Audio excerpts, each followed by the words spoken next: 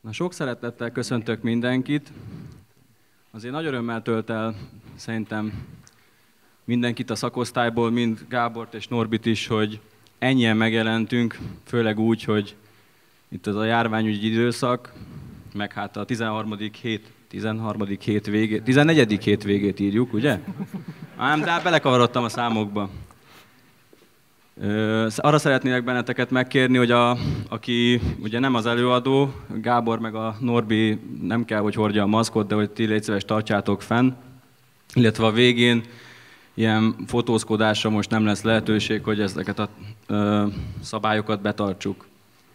Ö, viszont a Gábornak már ez a negyedik áramlástanszakos előadása, volt 2012, 14, 19 és most 21-ben, Úgyhogy most akkor a következő 26-ra esedékes, hogyha tartja itt a... És melyik teremben?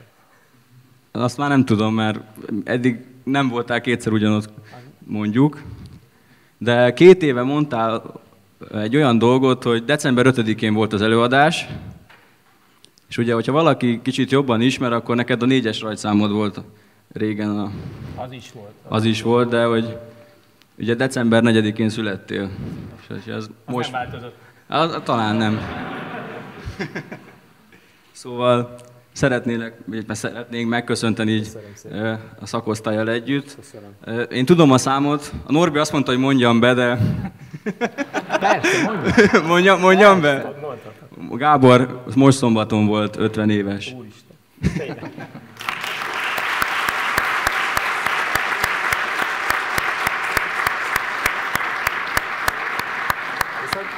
Miután jó szín vagyok, azért mindenki törhet belőle egy darabot. Köszönöm. Hát és akkor most átadnám a szót, és megkérnélek benneteket, hogy akkor kezdjétek el az előadást. Köszönjük szépen, köszi Szabi. Sziasztok! Tegeződős lesz ez a formula, bár Norbi poénkodtunk rajta, menjünk ilyen szigorú magázódásba, azt nagyon nehezen tudnánk folytatni egy pár perc után. Úgyhogy picit összegerjedek magammal, hogy Norbival? Szerintem igen. Van, valamelyik mikrofonnal itt. De olyan, mintha az enyém jobban működne. Igen, nem? egy-kettő, nem tudom. Egy, minden valahogy tisztul a helyzet. Szóval azért kérdeztem Szabit, hogy mire jöttetek, mert igazából nem tudtam, hogy mivel hirdették ezt az eseményt. Gyorsan megnéztem, hogy hogy néz ki a menü. És igazából azért nem készültünk mással, de arról beszélgetünk Norbival, hogy hogy tudnánk olyan háttér dolgokat mutatni nektek, vagy olyan háttérinformációkról beszélni egy picit mélyebben, amik nem feltétlenül mindennaposak, és nyilván aztán majd olyan dolgokról is beszélünk, aminek egy részét biztos hallottátok már, láttátok már, belső kamerás videók, telemetri elemzés, de hogy alapvetően ha versenyzésről beszélünk, akkor, és most nem kezdek bele rögtön az években, meg a féktávokban, az kicsit később, akkor szerintem az egyik legmeghatározóbb része egy, egy versenyző sikerességének, az az, hogy hogy működik együtt a csapatával, és közvetlenül hogy működik, hogy működik együtt a verseny mérnökével, és azzal a mérnöki gárdával, akik, akik hozzá csatoltak.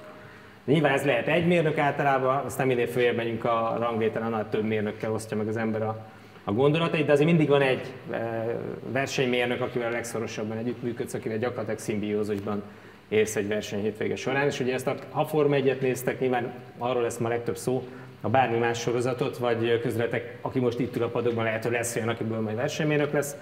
A mi versenymérnökeink közül is volt nem egy olyan, aki ezekben a padokban tanult, hogy a Bári testvérek például.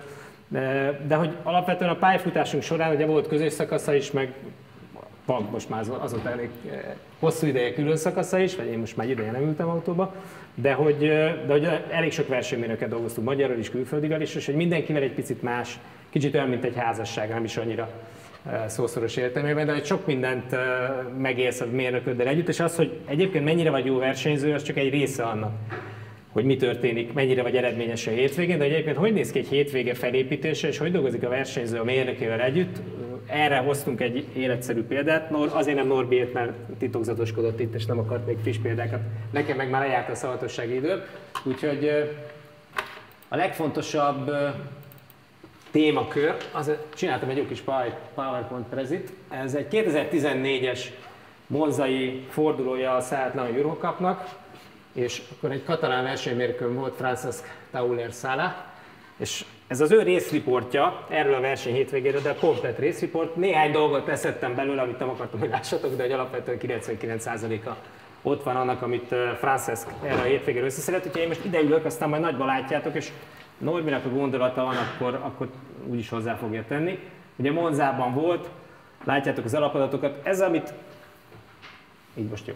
Ez az, amit elkészített, ugye van mindig egy pre-race report, ami a verseny előtt van, hogy hova megyünk, az milyen típusú pálya, amik voltak a korábbi tapasztalatok, és aztán a verseny után meg van egy összegzés. Ezt a versenyző, a versenymérnöke persze csomó mindent átbeszél belőle, de utána írásos formában a versenymérnök a legfontosabbakat összeszedi.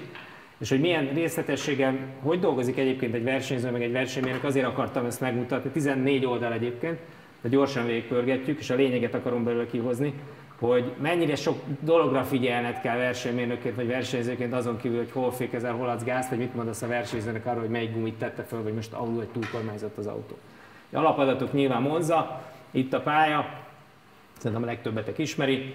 Ezt versenyzőként nem nagyon kell memorizálni, mindannyian ismerik a, a tenyerünket, de aki mondjuk kezdő, annak nem baj, vagy egy olyan pályára megyünk, Norbinak is volt időn olyan pályája, amit tanulni kellett, akkor akkor kell egy kis memorizálás, de egyébként maga a pályarajz azért van számozva, nem azért, mert nem tudjuk, hogy merre járunk, hanem hogy egyértelmű legyen a mérnökkel, hogy miről beszélünk. Tehát, hogyha van egy rádiókommunikáció, hogy hol mi történik az autóval, akkor hogyha én tudom, hogy Ascari-nak hívják a 8-9-10-es, de a mérnök még nem feltétlenül tudja, akkor azt mondom neki, hogy az Ascari-ba túlkormányzott a bejáraton, akkor hirtelen nem biztos, hogy tudja, hogy mi van. Ha azt mondom, hogy a 9-esben ez volt, a 10-esben az volt, a 11-esben meg ez, akkor egyértelmű mindenki számára, hogy egy nyelvet beszélünk, és ugyanott járunk a pályán. Ezért látjátok a Form 1-es autókon is ment a cockpitbe valahol a pályarajzott számokkal, nem azért, mert a versenyző nem tudja.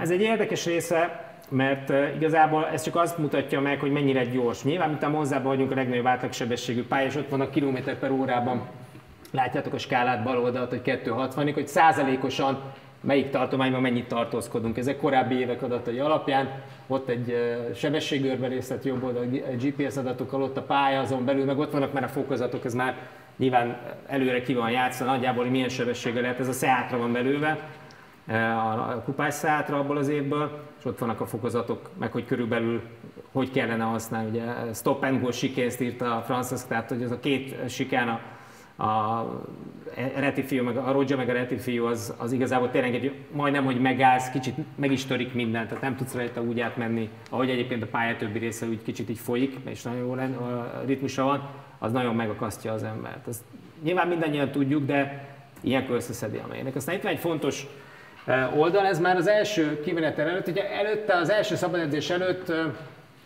összegzi, hogy mi van. Spába volt egy nagy törésem előtte, beleraktak a falba az órúzs előtt, és elég komolyan megsérült az autó eleje, amire később lesz következménye majd a további oldalakon.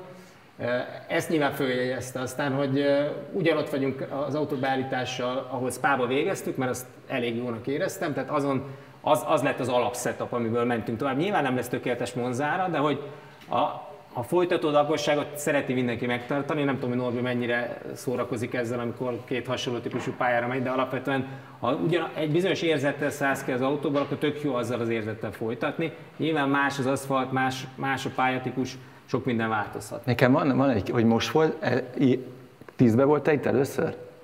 Nem, ez nem valamit szombos köridők. Mire gondolsz?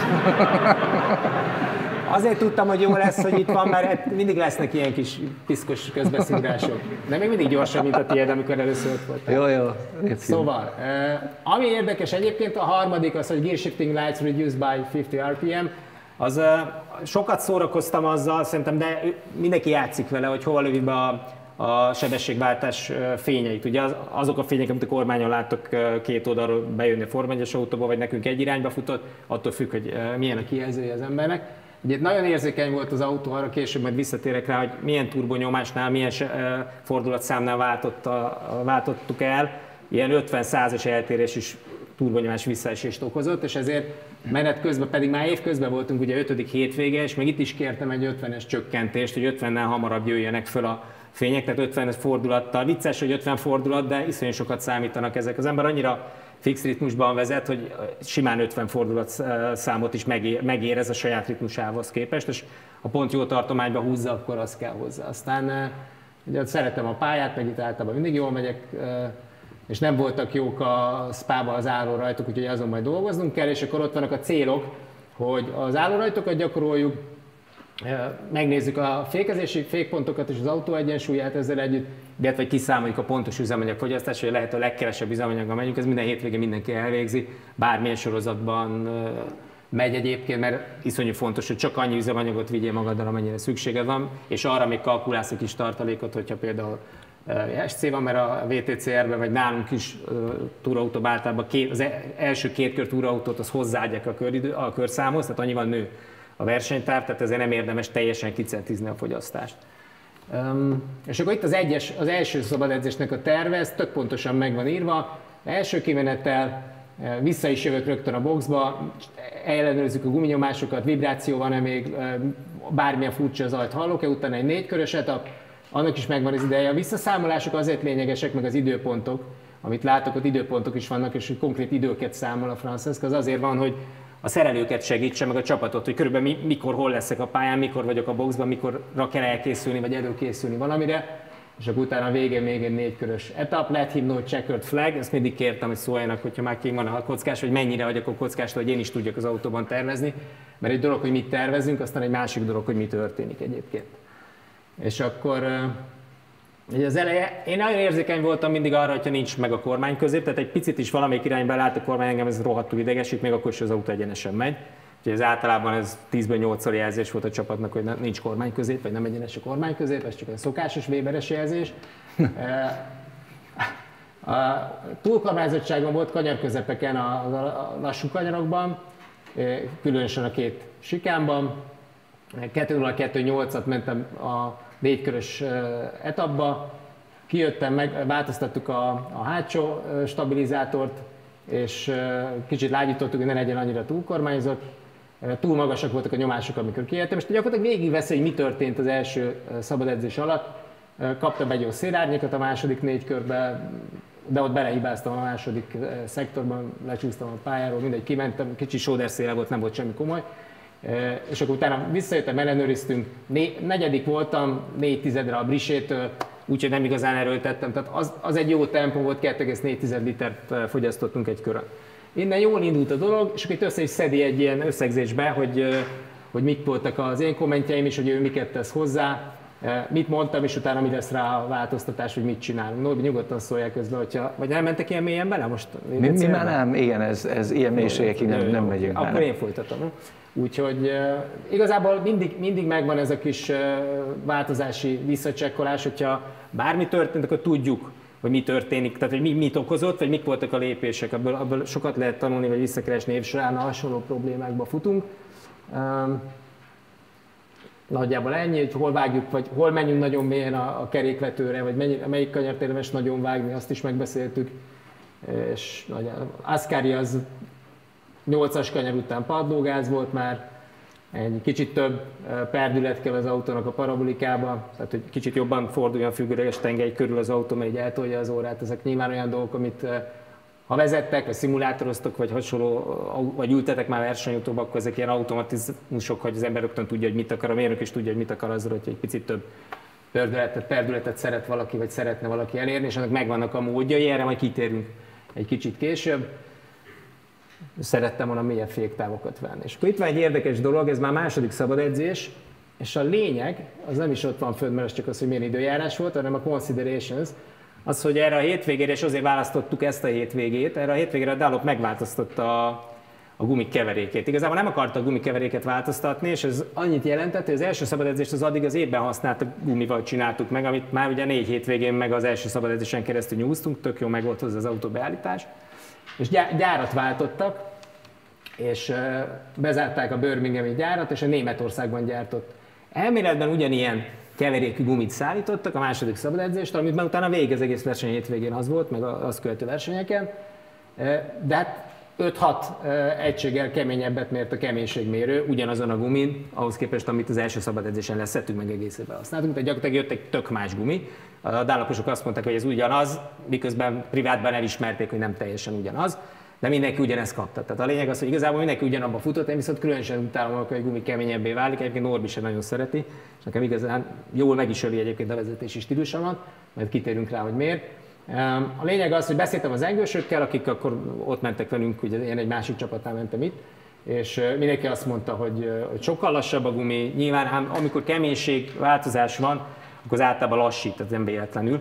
és egy jó másodpercet lassult elméletben mindenki. Elméletben, mert persze nem mindenki csinálja ugyanazt a, a műsort minden szabad edzésen, nem mindenki ugyanúgy használja a gumikat, meg ugyanúgy a beállításokat, de, de, de autó gyors, akkor gyors minden körülmények között, ha meg lassú, akkor, akkor ritkában lesz tök gyors. Nem szólsz közben semmi? Hát nem tudom, nem, nem hagysz részt, amikor közben, hát veszek levegőt, akkor, akkor teljesítessék. Szóval én két, két lépést egyébként visszajönnék, és nem tudom, Monzáról ejtenék még egyszer né, néhány szót. Szóval az van, hogy Monza mm, egy olyan pálya, ami, ami különleges. Ez egyrészt fakad abból, hogy messze a legmagasabb itt az átlagsebesség, nem csak formautóval, hanem túraautóval is. De nem egyedül ezért egyedi ez a pálya, hanem azért, mert nagyon sok a kemény, egyenes vonalú féktáv, és nagyon sok az irányváltás, főleg a sikánokban. És azért az autó beállítása is azért eltér mondjuk egy átlagos karakterisztikai pálya beállításától, és ez abban érhető tetten, hogy ezen a pályán az átlagosnál mindig egy picit, hogy mondjam, merevebb a rugó, illetve a stabilizátor merevség.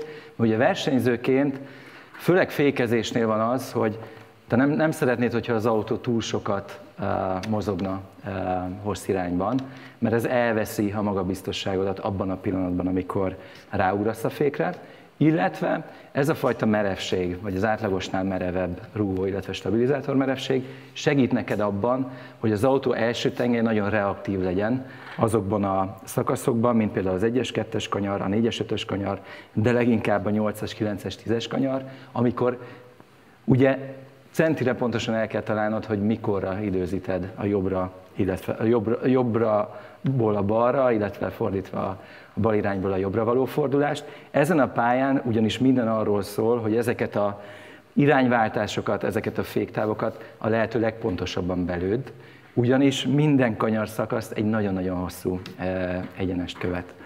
Ugye milyen lehetőségeid vannak az autót beállítani? Ugye beszélgettünk már rúgó merevségekről, itt jellemzően azt a kompromisszumot kell eltalálni, hogy szeretnéd, hogy az autó gyors legyen az egyenesbe, az autó akkor lesz gyors az egyenesbe, hogyha sebesség növekedésével egyre közelebb kerül a talajhoz. Ugye milyen eszközeid vannak erre? Ott vannak a rugók. Tehát például van az az iskola, aki azt mondja, hogy egy olyan autónál is, mint egy ilyen mennyiségű leszorító erőt termelő túraautó, mint például amit Gábor használt abban az időben, vagy amit mi használunk most a túraautó világkupában, ugye 140, 150, 160 km per óránál már tud termelni 60, 70, 80, 90 kg leszorító erőt, ami nyilván nem egyenesen osztik meg az első és a hátsó tengely között, de ez a mennyiség már elég ahhoz, hogy a rugó elkezdjen összenyomódni. Minél lágyabb a rugó, annál nagyobb az összenyomódás mértéke. Itt, az a, itt a, akkor visszamentem a sebességtartományos részre. Tehát nagyon sokat autóztunk, még mi is a Seattal, és a VTC autók ennél azóta gyorsabbak valamivel, bőven 200 fölötti tartomány, és ugye van ott egy 240 fölötti tartomány is, ami túrautóval azért kifejezetten nagy tempó, és ott azért már jóval több mint 80 kg eh, termelődik, vagy eh, annyi hat az autóra, és ugye ráadásul iszonyat nagy splitterek is vannak, tehát az, hogy a hátsó szányra egyébként meg a splitterre miatt, és az mennyire nyomja össze a rugókat, annak tényleg komoly jelentősége van, de ez csak Ugye ez csak az egyik része a tempónyerességnek, mert utána be is kell tudod fordulni. Igen, sőt, előtte el kell kezdened fékezni. fékezni. Ugye az van, hogy egyenesben nyilván azt szeretnéd, hogy az autód első és a hátsó tengelyen nagyjából hasonlóan, uh, hogy mondjam, csökkentse a, hasmagasságot, de hogyha nagyon lecsökken a hasmagasság az egyenesbe, ugye az egyre nagyobb sebesség miatt, egyre nagyobb uh, leszorító erő miatt, akkor az első splitteredet a fékezés elő, első pillanatában oda fogod verni a, az aszfalthoz.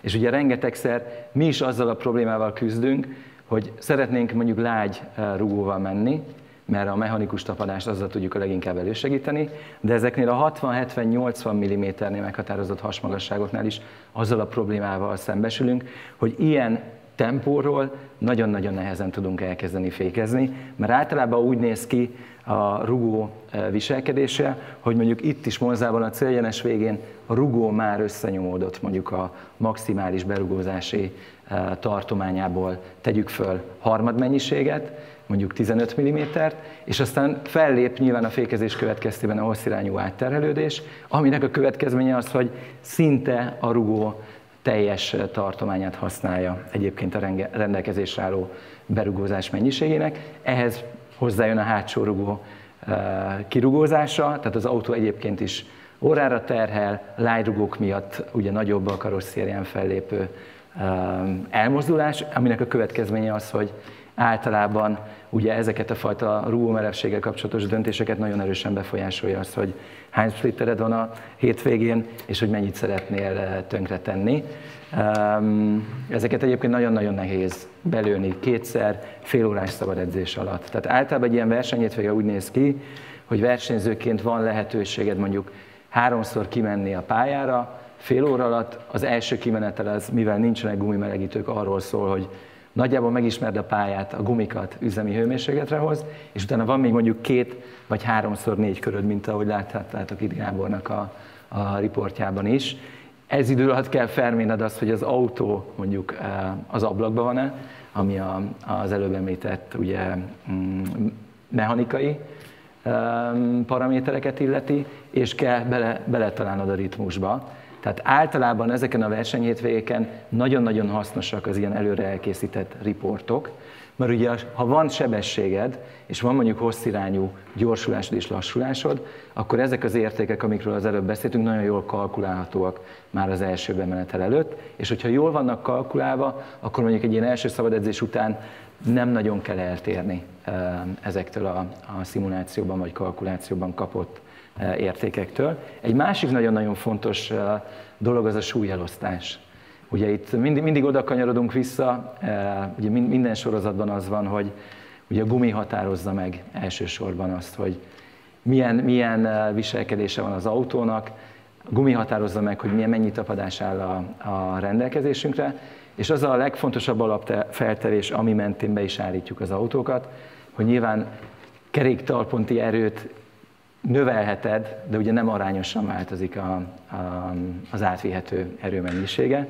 És ennek a következménye egyébként az is, hogy egy Monza típusú pályán egy olyan autó, ami hagyományosan a konstrukcióját tekintve nagyon az első tengerre terhel, ugye itt a túrautó világkupán is úgy képzeljétek el, hogy nagyjából 59 és mondjuk 63 százalék között van az autók között a súlyelosztás, nyilván vannak az autók között is különbségek, és van lehetőség, mivel nagyon-nagyon sok balasztsúlyt használnak az autóban, van lehetőség arra, hogy ezt a súlyelosztást, ezt mondjuk ilyen 1-1,5-2 százalékos eltéréssel változtasd.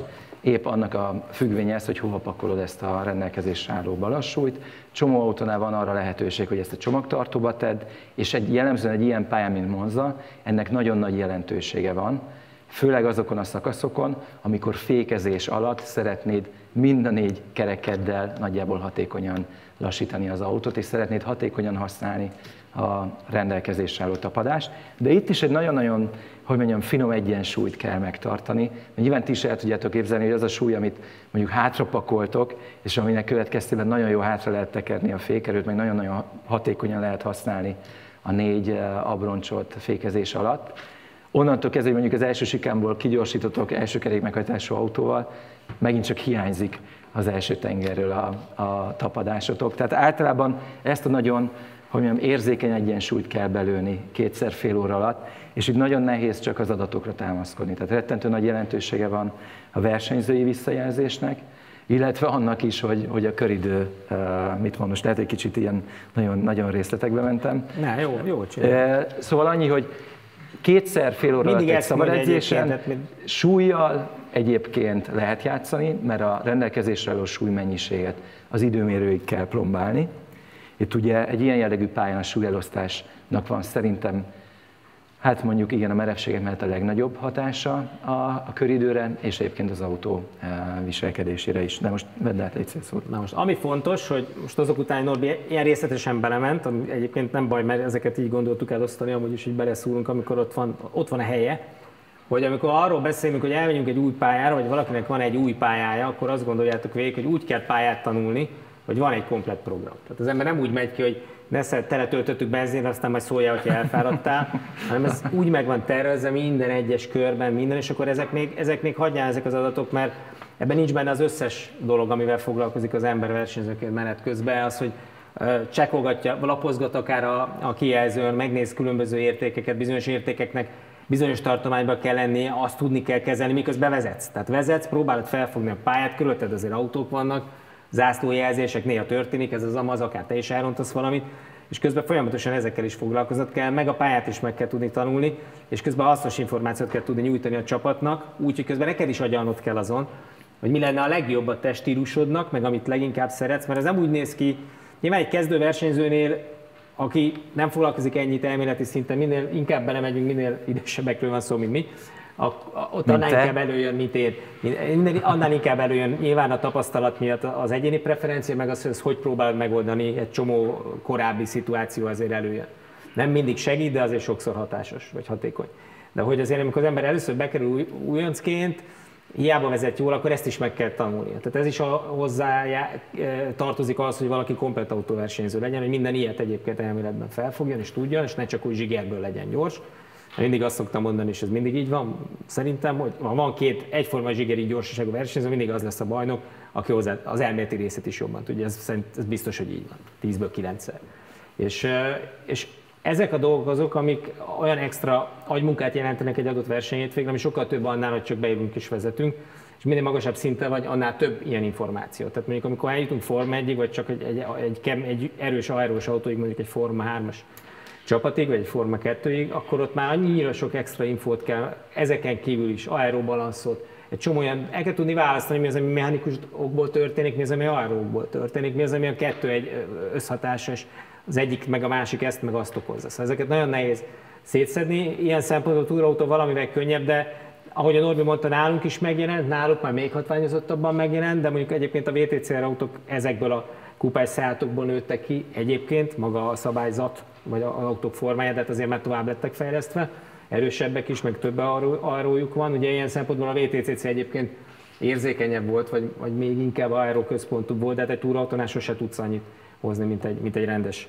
formautónál. A visszagorva erre a monzai hétvégre, a második szabadedzés új gumik, aki már ránézett, az látja, hogy ez nem nagyon jött össze, tizedik lettem, és van egy 1,1 másodperces durván, majdnem egy másodperc körüli lemaradásom.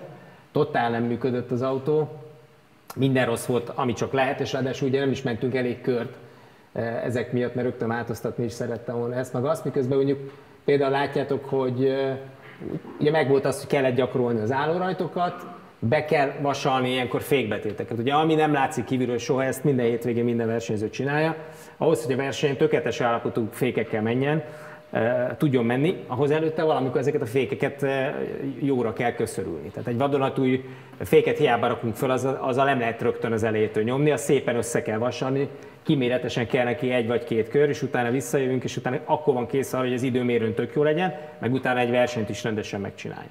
És ugye ezeket mind a szabad edzésen kell elvégezni, tehát ugye az összes meló még, amit az előbb elmondtam, meg agyalás, meg pályatanulás mellett még neked olyan körökkel is számolni kell, amikor csak féket készítesz elő arra, hogy mind a két versenyfutamodra, vagy, vagy egyre attól függ, milyen bajnokságban mész, hogy háromban jó legyen, meg az időmérőn is egy tökéletesen bejáratott féked legyen. És egyébként nagyon könnyű elrontani egy féket, akkor, hogyha túl hamar kezd az ember vele durvulni, akkor az érzete is rossz lesz, meg, meg eleve nem, sosem lesz olyan, mint hogyha egyébként szépen tökéletesen melegítette volna. Ugyanilyen, amikor egy gumit hirtelen elkezdesz ütni, vágni annak se tesz jót. Na hát ez a második szabályozás, ez, ez nagyon pocsékul sikerült, és gyakorlatilag olyan volt, mint hogy kihúzták volna a szőnyeget, és akkor innen kellett eh, megpróbálni megoldani. Ez egy, ez egy összehasonlítás arról, hogy eh, hogy miért voltam annyival lassabb. Itt a Franciszk eh, összeszedte szépen a dolgot. Ugye a, a két gumi közti különbség, első meg a második szabadedzés körei közti különbség. A piros a második szabadedzés az új gumis, és a, a kék, vagy nem tudom, türkiz, az pedig az első, most kicsit itt lézerpointerezek.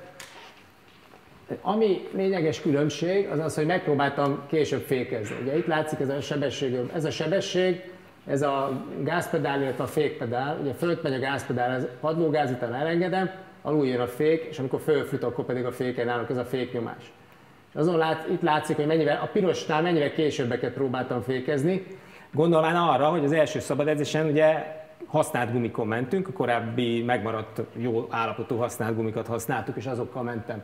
Ezeken a féktávokon az volt 2 2.8, és akkor úgy voltam vele, hogy fölment, a, jött a zsírúj gumi, ami az új keverék volt, azt gondoltam, hogy ugyan, ugyanolyan lesz, mint a másik, és akkor szépen el is kezdtem eltolni a féktávokat, de az mind késő lett. Mind, mindet elrontottam, ráadásul a, a féknyomásokból szépen látjátok, hogy gyakorlatilag nem is mertem akkor a féknyomást nyomni, mert sokkal hamarabb elkezdett blokkolni a kerék. Tehát ugye ezt érzed, amikor, amikor elkezdesz rámenni a féktávra, főleg Monzában, amikor ez 240 fölött, majdnem 250-nél az egyenes végén, és ott rálépsz a fékre, ott azért az egy annyira brutális lassulás, az autó feneket teljesen felkönnyül. Én nekem általában, én úgy is szeretem, Norbi ezt tudja, hogy milyen, úgy is szeretem mindig beállítani a fékre összlást, hogy a hátsó tengely előbb blokkoljon egy picivel, és onnan tudom, hogy már nekem az a határ. Ez kívülről durván néz ki, mert az autó hátulja úgy mozog, mint hogyha akkor akarnám eldobni, nekem ez egy teljesen természetes érzés. És, és ebből pontosan tudom, hogy akkor a blokkolás előtti utolsó pillanatban vagyok az első tengelyel. És egyszerűen ezek a féknyomások nem mentek följebb, és nem is olyan szép a felfutásuk. A, nézzétek meg, hogy ez gyakorlatilag egy tökéletes felfutású fékezés itt a kékkel, vagy ezzel a türkizzel. Ez egy picit el van nyújtva, de ez is sokkal nagyobb féknyomás. Tök csúnyán beejtem a pirosokat. Mindenhol időveszteség van, és, és ráadásul utána a Lesmo 2 a másik tipikus jelzés arra, hogy a, a gumi nem tapad úgy, mint a korábbi, hogy keményebb keveréken vagy, hogy elkezdtem korábban befordulni a nyújtott kanyarokba. Egyszerűen, mert hogy lecsúszott azon az íven, ahol, ahol addig befordult, és akkor mit csinál az ember? Megpróbál hamarabb fordulni a kanyarra. Logikátlan utólag, meg pontosan tudod, de zsigerből persze nem tudsz más csinálni, próbáld megmenteni, mert ugye két választásod van. Vagy lassabban fordulsz, vagy korábban. De lassabban, akkor nem vagy autóversenyző, megpróbálsz korábban befordulni, csak akkor nem jön ki a kanyar. Na így lett ez a kör lassabb egy másodperc, mint a leg, legjobb köre, de ez leginkább a, a stílusomnak nem ízlet, és annak nem feküdt, úgyhogy alapvetően az, és ráadásul ami legrosszabb, ugye itt van az, hogy általános tapadás hiány mindenhol, és a lassú kanyarokban túlkormányzott volt, a gyorsabban meg alul. Ez a lehető legrosszabb kombináció, ami, csak létezik, mert biztos időt veszítesz minden szempontból. Úgyhogy nem, nem tudtam keményen használni a féktávokat, ami a legnagyobb erősségem. Egyébként általában bármilyen mezőnyben vagyok, vagy Norbival szemben is, de hogy összesség, nem, mindjárt megerősít, vagy nem. Szóval alapvetően a legrosszabb, amikor kikerülsz a saját komfortzónádból. Tehát, hogy bármilyen autóba kerülsz, vagy bármilyen beállítással ülsz, hogyha nem érzed magad otthon, és akkor nem fogod tudni azt csinálni, amit, amit egyébként csinálnál. Olyan, mint hogyha most a jobbkezesek balkézbe mennék a torlat, a balkezesek jobbkézbe, és akkor gyerünk, írjunk. Tehát, hogy picit eltúlozva, de valami ilyen történik olyankor, amikor nagyon más, hogy működik egy autó alattad, mint amit megszoktál, vagy mint amit szeretsz. És uh, ugye itt a Franz már sejtette azt, hogy valószínűleg nem volt elég hőmérsékletünk, és uh, ugye megváltoztatom a vezetési stílusomat, azt is leírta itt, próbáltam mélyebbre menni, nem működött. Igazából semmi nem működött, próbáltuk aztán utána arról beszélgetni, hogy legyen nagyobb dőlés. Na itt van az, amikor van egy probléma egy hétvége elején, ráadásul ez annyira már nem is az elején, hanem a második szabadedzés végén jöttünk le úgy, hogy volt egy jó első szabadedzés, ahol negyedik voltam, és amiből tudtam, hogy a korábbi mozai tapasztalatokból kiindulva ott azért az simán győzelmi esély. És utána hirtelen kaptam egy nagy pofont, és nem igazán tudtam, hogy hol vagyunk, és másnap jött az időmérő, amire ötletem se volt, illetve hát utána ilyenkor olyan hosszú-hosszú órák agyalása késő estében menően, és akkor itt az időmérő összefoglalója, ugye nagyobb dőléseket használtunk, még lemegyebb mentünk hasmagassággal, amit a Norman az előbb említett, ugye, de az megint azt jelenti, hogy ott már nem tudsz lágy, tehát rugókkal már abszolút nem tudsz lágyabb lenni, hogyha még lejjebb mész, eleve húzni fogod a hasát.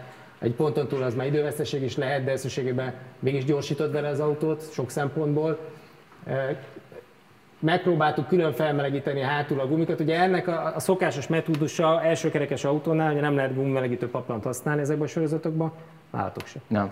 És uh, alapvetően ugye amikor kimész, és az elsőket elkezded megmelegíteni, azok már működnek, de a hát, hát csak még nincsenek sehol. És ugye ilyenkor, ha van idő, akkor azt szoktuk csinálni, hogy egy EHC-nek hívjuk, első hátsó csere, hogy az a gumi megy előre, ami egyébként a hátsó gumid lesz, és akkor hátul vannak az elsők, egy kört mész egy ilyen egy ilyen közepes kör, de nem erőlteted, nem, nem fékezed el, nem adsz neki durvát, csak az első tengelyen azért meg, kicsit megmelegíted, ott kap egyébként dinamikus terhelést komolyan, és akkor bejössz a boxba, és gyorsan megcserélik az elsőket a hátsókkal. És akkor már lesz hátsó hőmérsékleted, az már utána nem vészel, mert gyorsan kimész, és akkor az elsőket, amik addig hátul voltak, megint meg tudod melegíteni, és e, ezzel a metódussal hosszabb idő alatt, de, de hamarabb össze lehet hozni egy normálisan tapadó első-hátsó tengelyt nem igazán akart ez sem működni, illetve úgy éreztem, hogy működhetne, és az volt a megfejtés, ebben korábban is belefutottunk már Nürburgringen, de hát ott ilyen 4-5 fok volt, szállingózott a hó, az egyértelmű volt, hogy, hogy nem szabad kijönni kereket cserélni. Nagyon ritkán előfordul, főleg ilyen paplam nélküli sorozatokban, hogy az veszít rajta, picit, mint aki a jártatok gokártozni, vagy közületek jár valaki gokártozni bérgokárt pályára, tudja, hogy a, mindig az utolsó kör a leggyorsabb. Olyan merevek azok a gumik, annyira kemény keverőkek, hogyha egész éjszaka mennének, az éjszaka utolsó kör lenne a legjobb, ha még bírnád szuflával. És kicsit ez a helyzet ilyenkor ilyen körülmények között, hogyha túl kemény egy keverék egy adott autóhoz, vagy túl hideg van, akkor addig kell menni, ami vége nincs az időmérőnek, és hiába fogy egy picit a gumi vagy kopik, a hőmérséklet sokkal nagyobb király a történetben, tehát te, ha kijössz kereket cserélni, akkor hiába lesz frissebb gumit, nem fogsz tudni gyorsabban menni, csak lassabban, mert olyan lassan épül fel a hőmérséklet. Ha nem éri el azt a kritikus hőmérsékleti tartományt, akkor, akkor hiába próbálsz bármit. Úgyhogy itt ezért is van a megjegyzés, hogy a Zhao, aki a leggyorsabb volt, egyetlen garnitúra gumival ment végig az egész időmérőn, mert folyamatosan melegítette. És akkor itt jön az, hogy uh, itt volt a change rear to front, ugye itt visszajöttem, cseréltünk, 4-5 kör volt a terv, setup változtatásnál, ez csak a terv volt, de nem volt rá szükség, mert hogy a harmadik körömben, ami az első mért köröm volt, ugye, mert volt egy kör, utána visszajöttem, első-hátsó csere még egy kör, és akkor kezdtem a első mért köröm, és az első mértkörömben a Rodja után, hogy a Lesmóba elfordultam, eltört a féltengelyem, ami még a Spy balesetnek a következménye volt utólag, mint ez kiderült. Szerencsétlen szituáció, és ezzel ráadásul miután ez egy olyan hétvége, ahol ugye fordult rajtrács van, de csak az első tízben, ezért ugye mind a két versenyem a rajtrács végére került. Úgyhogy ezzel, a, ezzel még nagyobb problémáink lettek, mint hogyha csak simán a gumival szenvedtünk volna. És akkor itt első futam összefoglaló.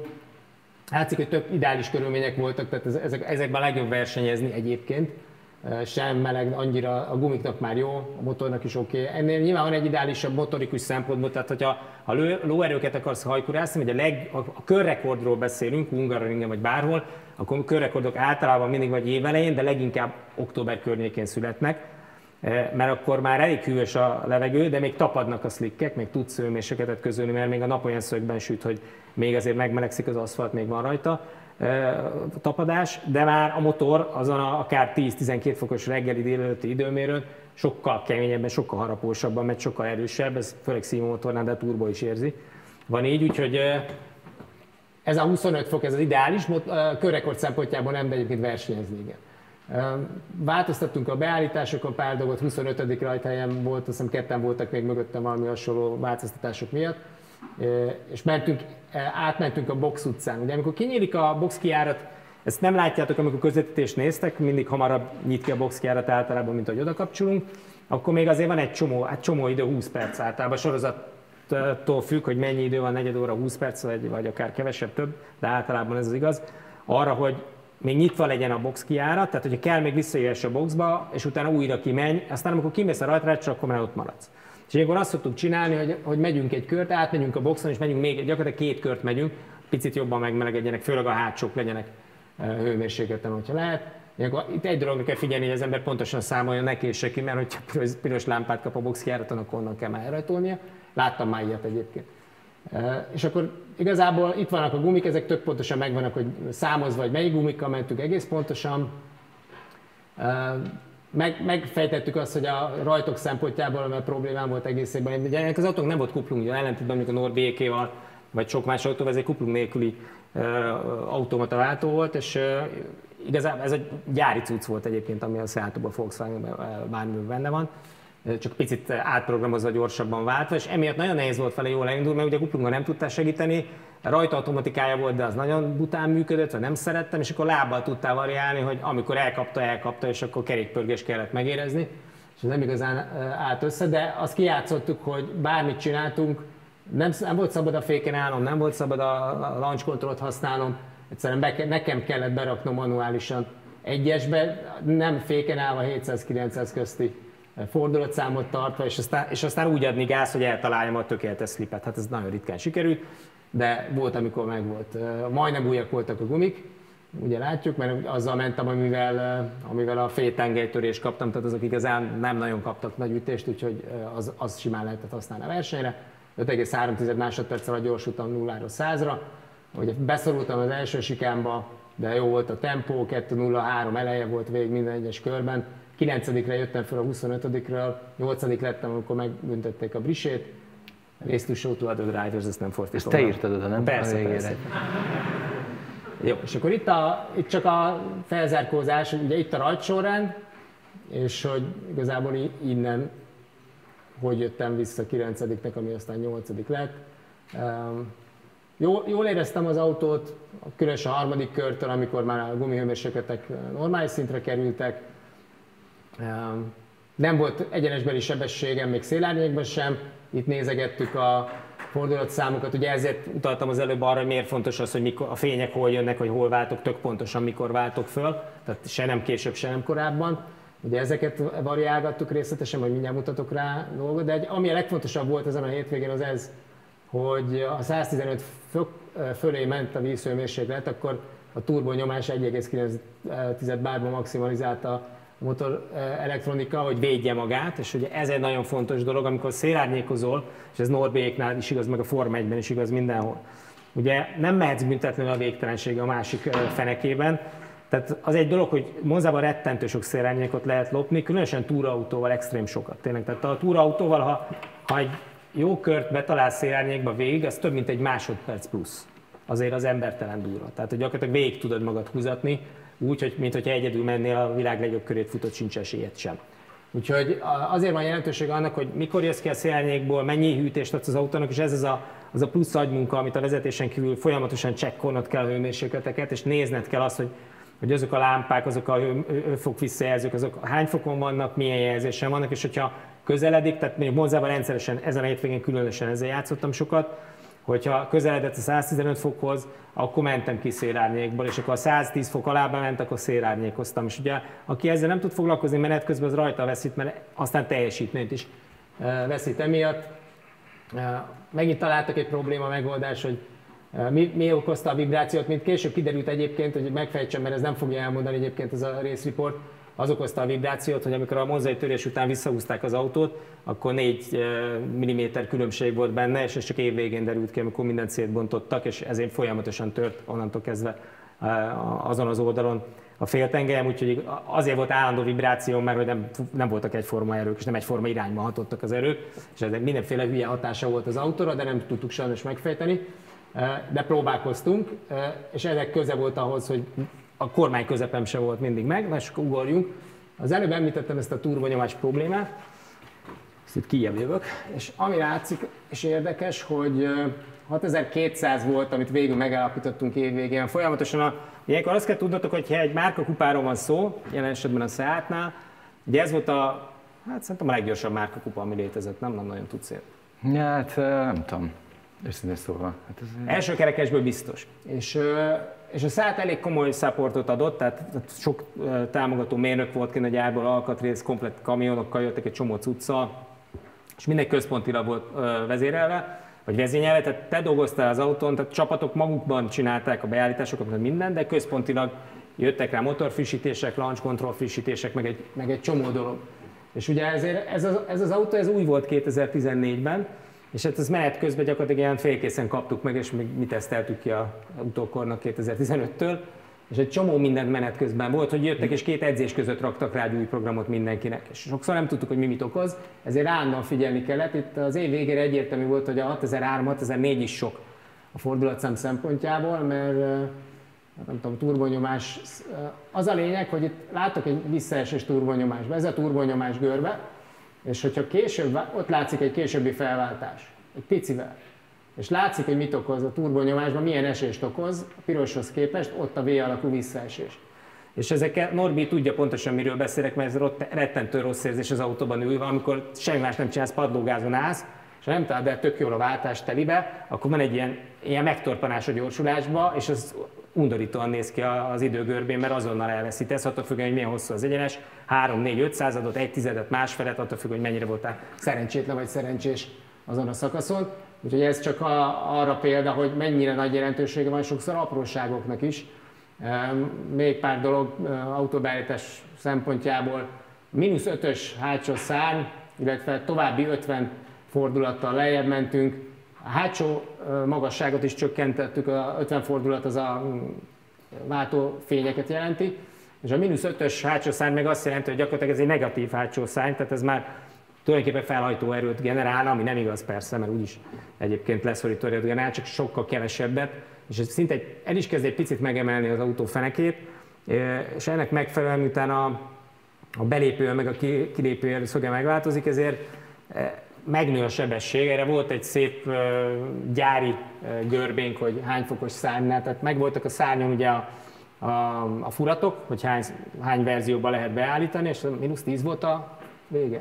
Nem emlékszem? Hát szerintem mínusz 5 már a vége A 0 és mínusz 5, a mínusz 5 nem lehetett, tehát Monzán kívül a mínusz 5 nem nagyon lehetett sehol használni, mert úgy ezt szállt fel az autó feneke, hogy vezethetetlen volt. Tehát nagy tempónál olyan túlkormányzottság lépett föl már, egyszer megpróbáltuk a Hungaroringen mínuszba vinni, és röhögbe jöttünk ki, hogy tök gyors az egyenesekben, de nem lehet, sehol nem lehet vele elfordulni. Tehát 150-160 fölött bár itt, itt érződik az, hogy bármennyire is kevésnek tűnik ez a leszorító, amit generálnak ezek a szárnyak egy túraautón, amikor elveszed, akkor nagyon érzed, hogy mennyit, mégis mennyit tesz hozzá a vezethetőséghez.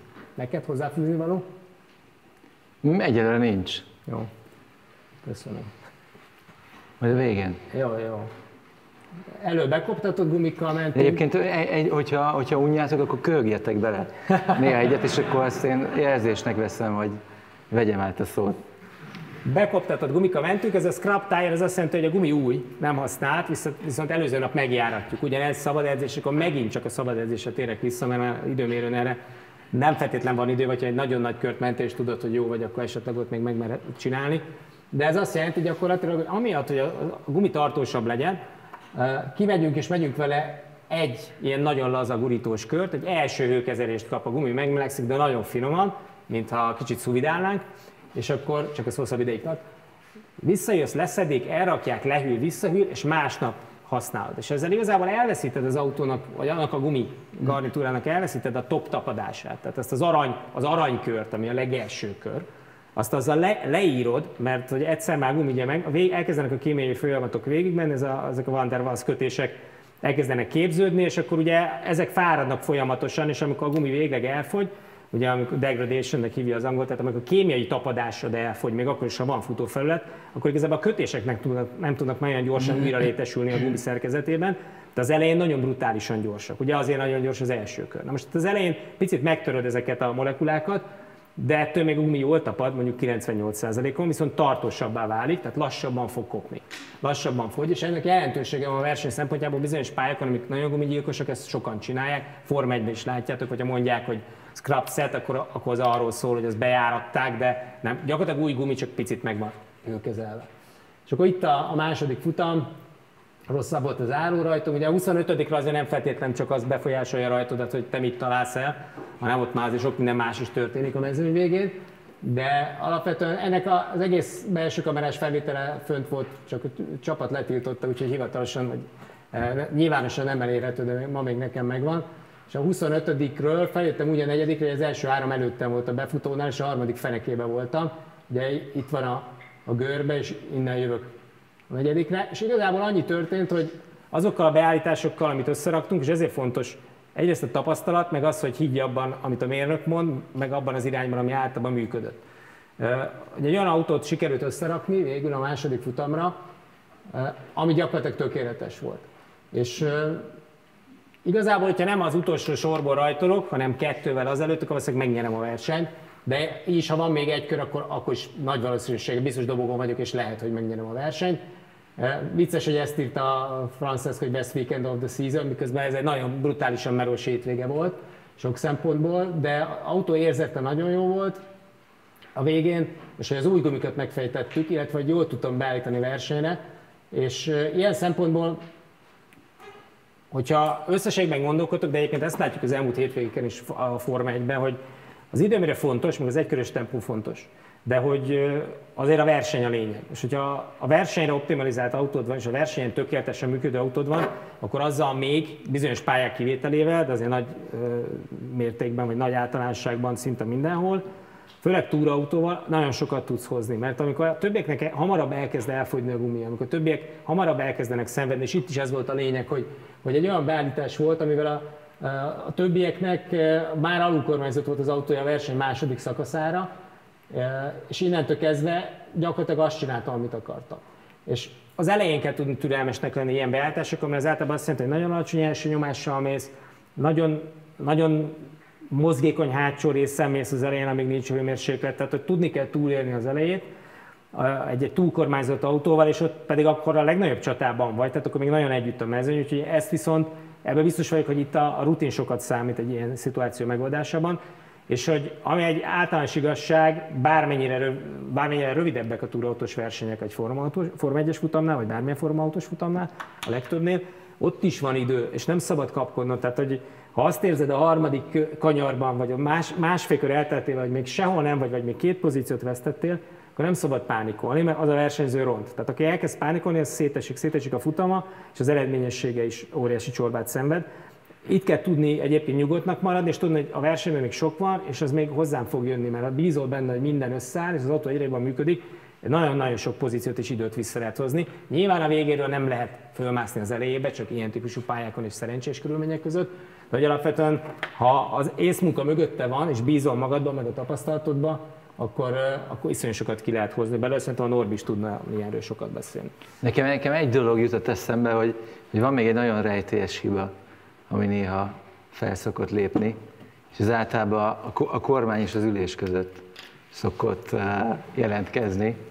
Ugye a mérnök, mérnökömnek van egy ilyen vicces mondása, hogy igen, jól körüljártuk a témát, úgyhogy most valószínűleg a hibát a kormány és az ülés között kell keresni. Nekem az lenne a kérdésem, hogy, hogy szeretnétek még beszélni egy kicsit így az autó beállításáról, mert egy sokszor elhangzott a Gábornál az, hogy gumihőmérséklet, a riportban is láthattátok, hogy a hátsó tengely vagy az első tengely nem volt megfelelő hőmérséklet az tartományba, de mivel szaladunk előre vészesen gyorsan az idővel, ezért nem tudom, hogy uh, illeszük ezt még bele? Egy, egy 5-10 perc erejéig? Hogy milyen, milyen beállítás lehetőségek vannak Szerintem arra, mindenképp, mert így fogunk hogy ezeket, a formautókra Ugye is. itt elkezdtünk az előbb már beszélni a, a hosszirányú átterhelődésekről, itt a mozzai kemény féktávok miatt és kigyorsítások miatt, alacsony sebességről. Ugye a gumi hőmérsékleti ablakba való hozásának megint csak nagyon-nagyon jó eszköze az, hogy az autó beállítását, illetve az átterhelődések mennyiségét változtatod az első és a, a hátsó tengely viszonylatában. Ugye milyen, milyen eszközök állnak rendelkezésünkre, nyilván van a futómű geometria, tehát a hátsó tengelyen általában, főleg egy olyan pálya, mint Monza, ahol nagyon sokat mész egyenesbe, igazából nem tudsz energiát pakolni a gumiba, kell valami, hogy mondjam, egy anomália, kell valami kis plusz kúszás vagy surlódást adni a hátsó tengelynek, hogyha az a legfőbb problémád, hogy nincs hátul tapadásod, mert nem megfelelő hőmérsékletű a hátsó abroncs. Ezt általában összetartással szokták elérni. Ugye a széttartás az azért nem működik, mert egyébként is azzal a problémával küzdködsz, hogy túl instabil az autó feneke, hogyha ezt kombinálod széttartással, hogy egyébként segítsd a gumi hőmérsékletét, akkor egy még inkább vezethetetlen autót kapsz, és ilyen még kevésbé tudod a hátsó tengelyt munkára fogni. Ugye a hátsó tengelyen jellemzően egy ilyen pályán, mint Monza, a hátsó összetartás, illetve a hátsó dőlés az, amivel nagyon-nagyon hatékonyan lehet az autó viselkedésen javítani. Az összetartás nyilván azért, mert kap egy pici plusz csúszást, bocsánat, a hátsó két gumiabroncs. Ez segít abban, hogy hő nem csak felületi, hanem gumi belsejében is felépüljön. Valamint ott van a hátsó dőlés. Itt most nem tudom, hogy látunk konkrét értékeket, nem látunk. Szóval... Azokat szedtem ki. Hátsó, hátsó dőlés, tehát növelni kell a hátsó dőlést, ugyanis, hogyha a gumi belsejét megmelegíted, és mondjuk hiába nagyobb a szólás a gumi külseje meg a, a, a belső éle között hőmérsékleti viszonylatban, általában az, hogy a gumi belső élét, és mondjuk a gumi belső felét... Erre volt érték, beszélj, azt megkeresem.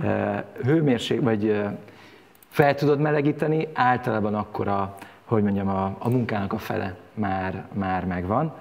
Um, átterhelődések kapcsán még, még én mindenképpen fontosnak tartanám megemlíteni azt, hogy van nyilván rugó, van stabilizátor, van lengéscsillapító, mindennel tudod befolyásolni azt, hogy az átterhelődéseid milyen arányban lépjenek fel az első és a hátsó tengely között. Itt Beszéltünk már... beszélsz közben, nézd meg, tehát a bal első, jobb első, bal hátsó, jobb hátsó gumik hőmérséklete külső oldalon, középen, illetve a belső felén, és akkor itt érdemes megnézni azt a 43 fokot a jobb hátsó külsőjén, 56 a belső, és hogy mekkora különbség van mondjuk az első kerekekhez képest.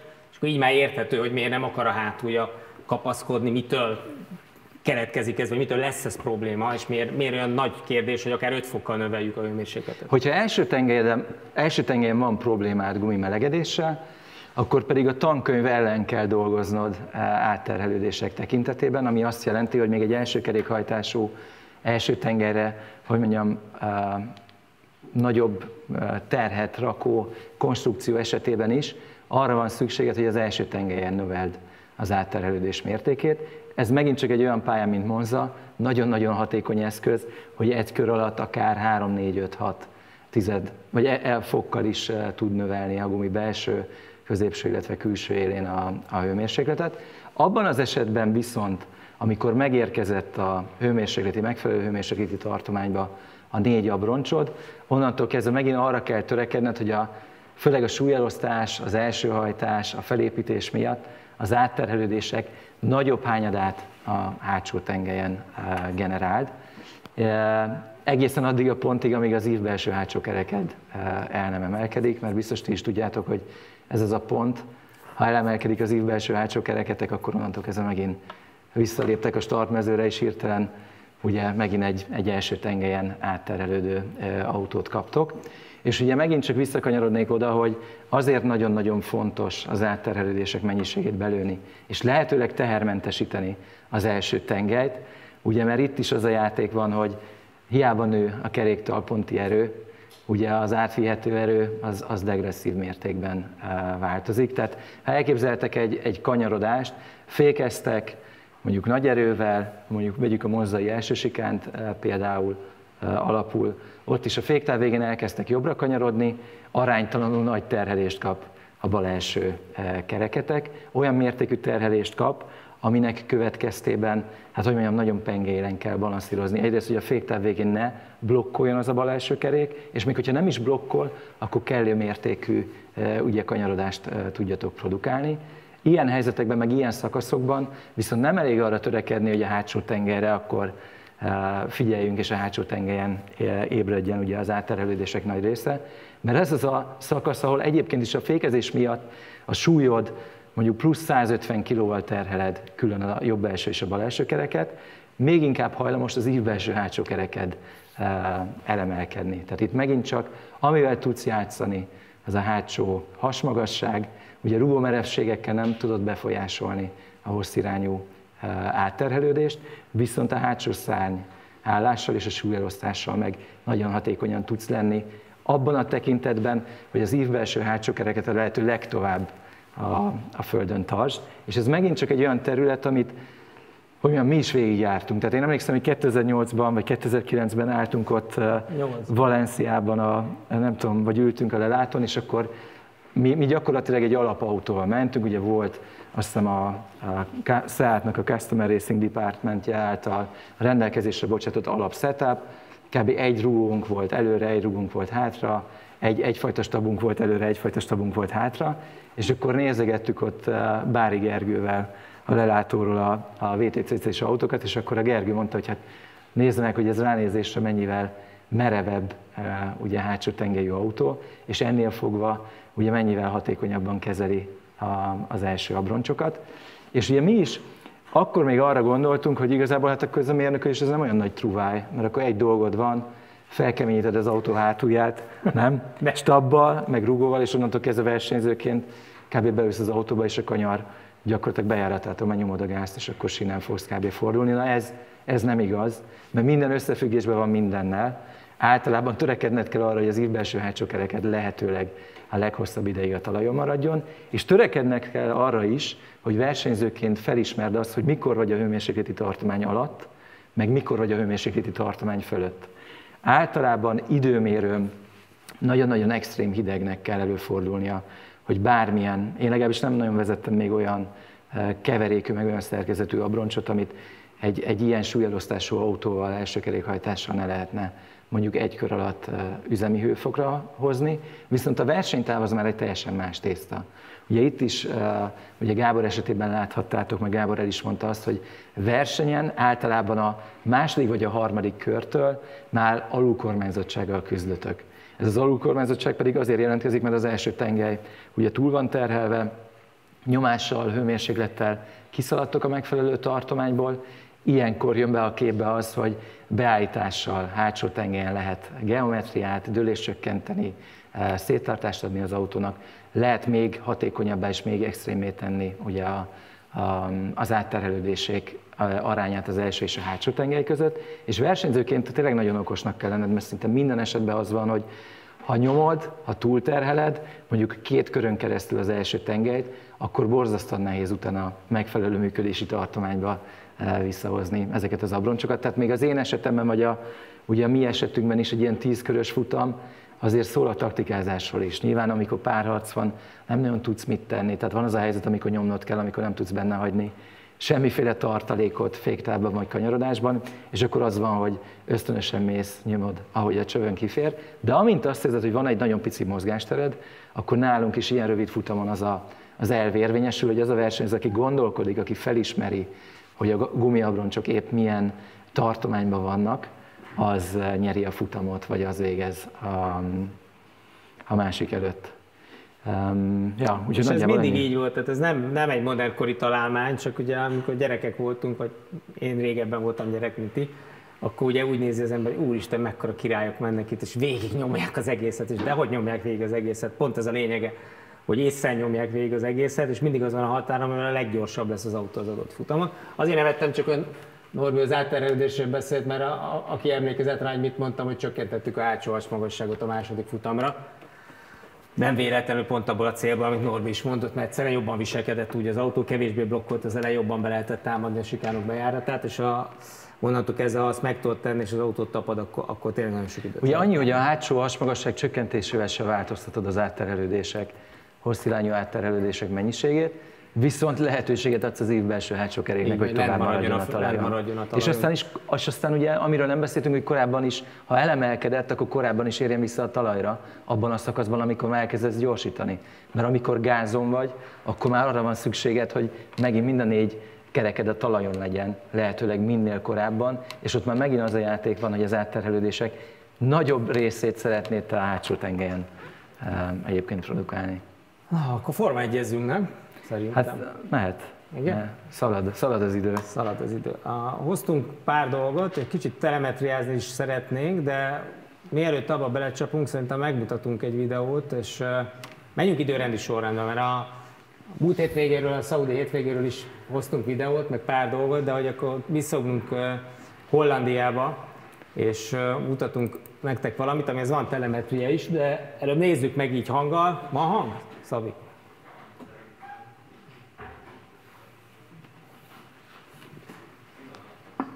akkor addig megállítom.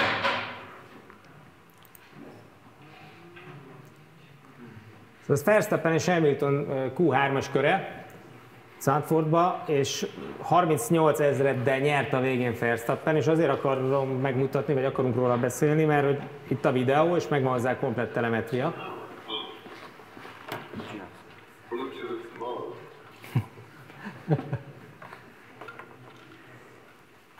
És nagyon érdekes, nem csak vezetéstechnikai különbségek, autó viselkedésbeli különbségek, Mercedes, Red Bull, meg egy-két hiba is van, ami, ami jellegzetes, és hogy annak a következményeit megmutassuk.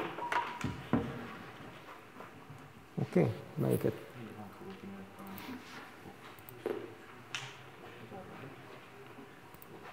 Egyébként várjátok a hétvégi futamot? Nem, nem annyira, nem?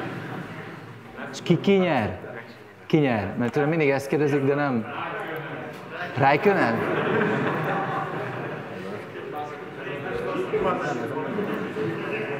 Lehet ilyen gyors közvéleménykutatást tartani, hogy ki, ki szurkol, ki szurkol Hamilton? Jó. Kikinek szurkol? És a Verstappennek? Ajjaj. Látod, ezért kapom én a közvetítésbe az ívet. És ja, nem tudom, érdekes lesz, ez biztos, mindegy.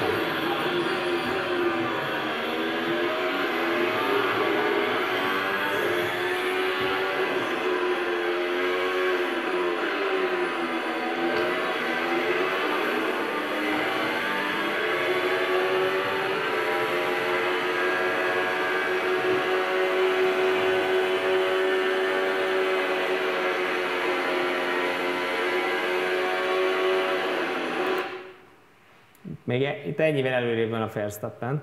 pedig ugye sokkal nagyobb előnye volt, de mindjárt megyünk tovább, aztán majd úgyis megnézzük részletesen.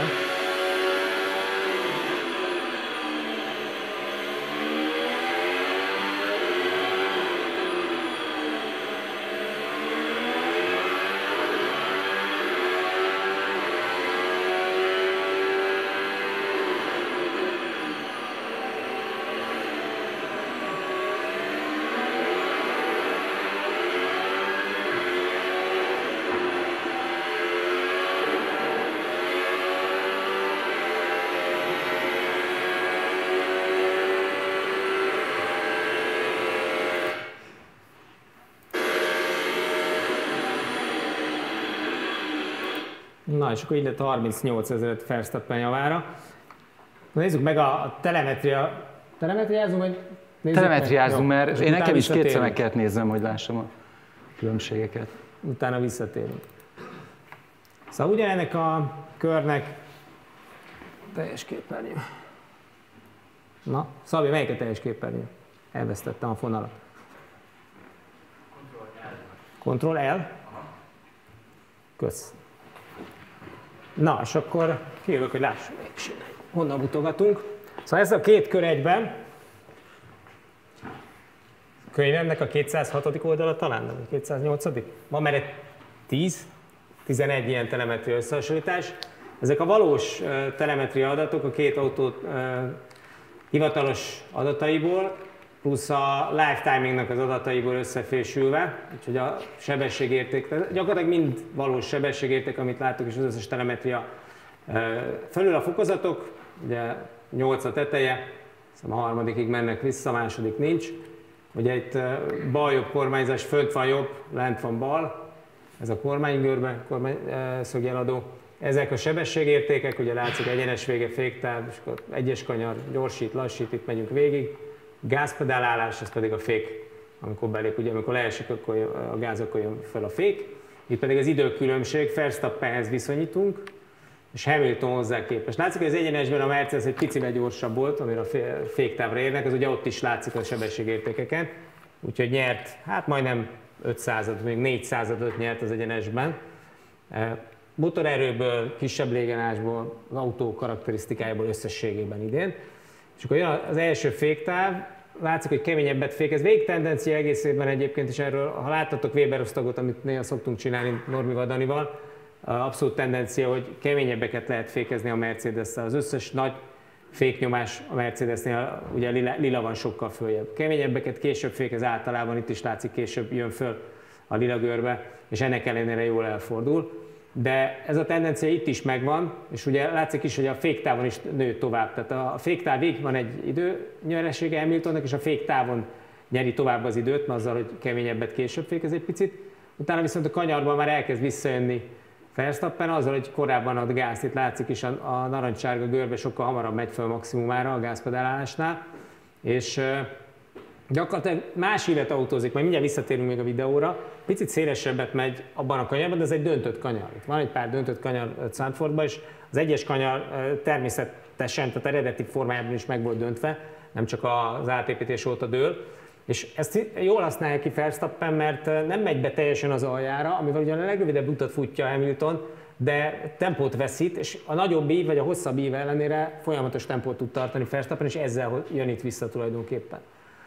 Itt látszik, hogy Egelben vannak, és itt a nagy időnyeresség, a nagy döntött kanyar, ugye a, a hármas kanyar, vagy a négyes kanyar már az új szám az ez szerint, ahol igazán sokat nyer, ugye a boxok mögötti nagy dőlésű kanyar, az 19 fok dőlése van, és ott egész máshogy megy át a Red Bull a Mercedeshez képest, sokkal keményebben a tetejére dobja Verstappen, látszik is előtte is a tempó, hogy nagyobb gázra tud lépni, és utána, hogy visszaesik, rögtön a kigyorsításnál óriási különbség van az a hármas jelölést látjátok, de folyamatosan a gázpedalásokból látszik, hogy a Red bull sokkal hatékonyabban lehet gázt adni e, ebben, ezen a szakaszon. Egyszerűen Hamilton itt nem mert menni, vagy nem tudott többet kihozni az autóból, a Red Bull meg iszonyatosan jól tapadt ezen a szakaszon.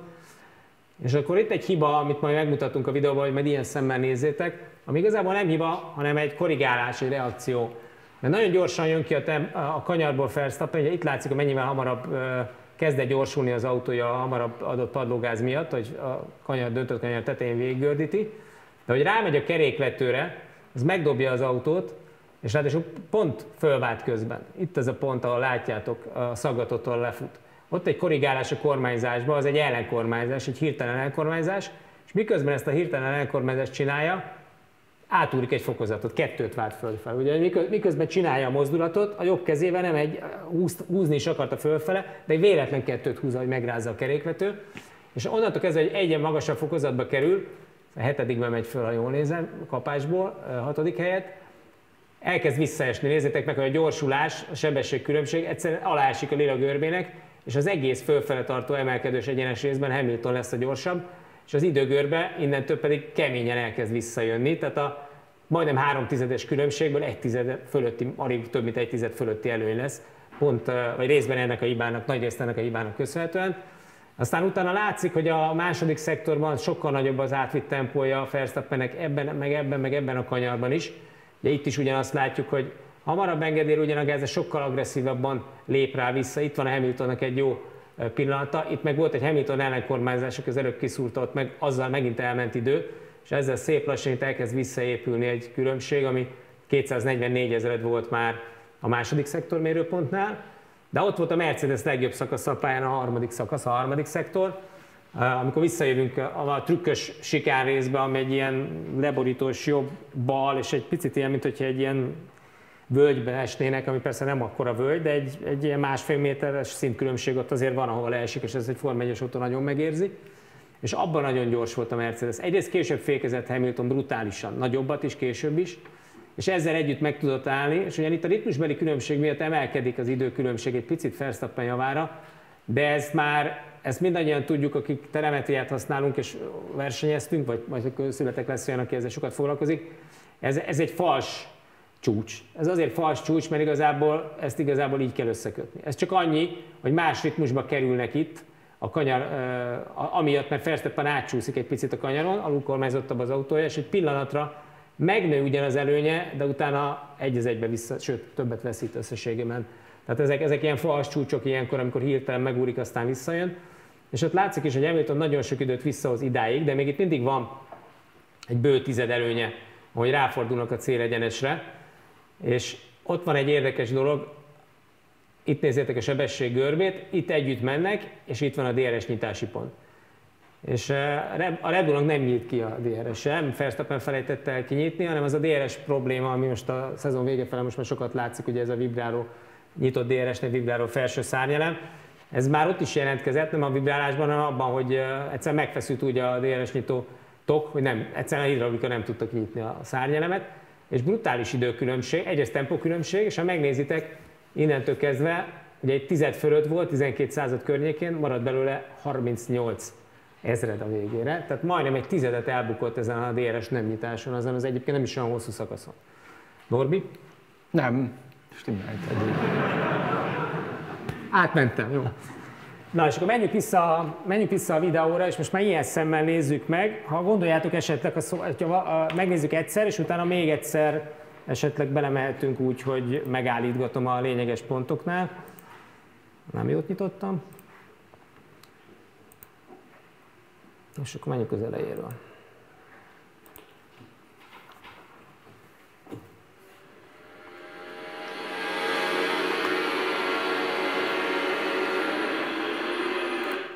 Ugye itt érdemes nézni, hogy mennyivel szélesebben van Verstappen, főleg a kanyar közepet.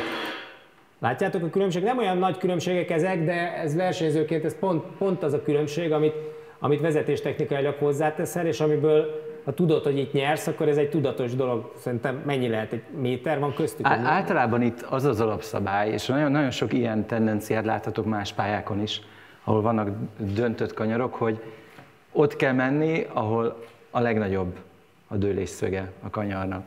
És nekem erős a gyanú egyébként, bár nem, nem mentem végig, vagy mentem már ezen a pályán, de nem mértem végig, hogy az az ív, amit Verstappen használ, az azért gyorsabb, bár hosszabb utat tesz meg, mert hogyha most itt kicsit elnéztek a messzeségbe, akkor láthatjátok, hogy na, ahogy mész fölfelé a kanyarba, úgy, úgy nő a kanyarnak a dőlés szöge. És ugye nagyon be kell lőni azt a, hogy mondjam, érzékeny egyensúlyt itt megint, hogy ne tegyél meg annyival több utat, tehát aránytalanul sok utat ne tegyél meg, hogyha nem, azon az úton nem dől, vagy nincs nagyobb dőlésszöge a kanyarnak. És Verstappen itt egyébként valószínűleg azért gyorsabb, mert az az ív, amit ő használ, az az az ív, ahol a kanyar is jobban be van döntve, mint eh, Hamilton esetében. Egyébként még Suzuka-ban van egy nagyon érdekes kanyar, az a hajtű kanyar. Ott is az van, hogy nem is törekednek versenyzők arra, hogy, hogy érintsék a belső. Vagy hokkelyben a Szax kanyar bent a stadion részen. Ugye mentem egy évet a német bajnokságba, és sokat teszteltem hokkelyemben, meg két futamunk is volt, és nagyon sokat tanultam nézve a német mezőnyt, meg a DTM mezőnyt, mert egy hétvégén mentünk velük mindig és háromféle verzióban vették azt a kanyart. Ugye volt ez a verzió, amit Hamilton csinál, volt ez a Verstappen fél, ami a szakszban még magasabban van, mert ott az egy még picivel döntöttebb kanyar, és ott egész föl lehet, hogy volt az a, mint a második sávba mentek volna, úgy érthetőleg inkább a dolog. Tehát fölmentek és fönt is tartották. Ugye azt kell tudni, hogy nem mindegy, hogy most csak rajzolok, hogy milyen síkból jössz. Tehát ugye amikor itt a pálya síkja, és egyébként maga a kanyar, ahogy megérkeznek bele, az, az lemegy, és a dőlés itt van bent, tehát van egy teknő, és onnan jönnek ki, akkor ugye eleve, hogyha fönt maradsz, akkor a dőlés a döntött rész felső, felső felén maradsz végig, ugye hosszabb évet húzza végig, de gyakorlatilag síkba mész. Aztán van, van olyan megoldás is, amikor egyébként a pálya síkban van, és picit elkezd emelkedni fölfele, és úgy van megcsinálva. Nem mindegy, hogy a döntött kanyar lent van, síkban van, vagy följebb megy, az is befolyásolja az adott szöget, amit autózol benne. Itt egyébként amit Hamilton autózik, az picivel van alacsonyabban a pályasíkjánál, és szerintem Verstappen van pont egyébként síkban a célegyenes síkjával, és fölfele már ez mind magasabb rész valamivel. És amivel egyébként itt időt nyer, az a hosszabb méterek ellenére az a nagyobb kimeneti tempója. Mert ugye a nagyobb átlag tempót, nagy, konkrétan nagyobb minimum tempót tud tartani azon a szélesebb íven, és azzal, hogy a nagyobb minimum tempóról tud kigyorsítani, azzal igazából kifele nyer igazán sokat, ez a telemetrián is látszott, de alapvetően azért kedvez ez a Verstappen féle vezetési stílusnak, mert ő mondjuk hozzám képest hasonlóan szereti a kanyarba nagyon nagy tempóval bedobni az autót. Tehát ugye nem fékez nagyon későn, nem olyan későn, mint Hamilton, ezért is van köztük ez a nagy eltérés egyébként féknyomásban, vagy fék, fékpontban. Tehát eleve viszonylag átlagosan fékező, de ez a stílusából adódik, mert nem fékez sokat. Tehát kicsiket fékez, főleg a többiekhez képest, mert a tempót, nagyon nagy tempót visz és ezzel nyer nagyon sokat, és ez neki segítség, az, hogy szélesebb ívet autózik egy döntött kanyarban, ez Szaudarábiában is látszott most Jeddában, az, hogy egy fél autóval, vagy csak egy méterre szélesebbre pakolja, az annak köszönhető, hogy ő, ő berongyol keresztbe átlosan, és úgy balanszírozza az autót, és gyakorlatilag sodródással vesz el még tempót, befele is nyer, és a döntött kanyar miatt itt aztán kifele is nyer. Mert, mert érdekes lesz megfigyelni egyébként a négyes kanyart is, mert ott még, még, még durvábban még, látszik még brutálisabb a különbség. Ez a fajta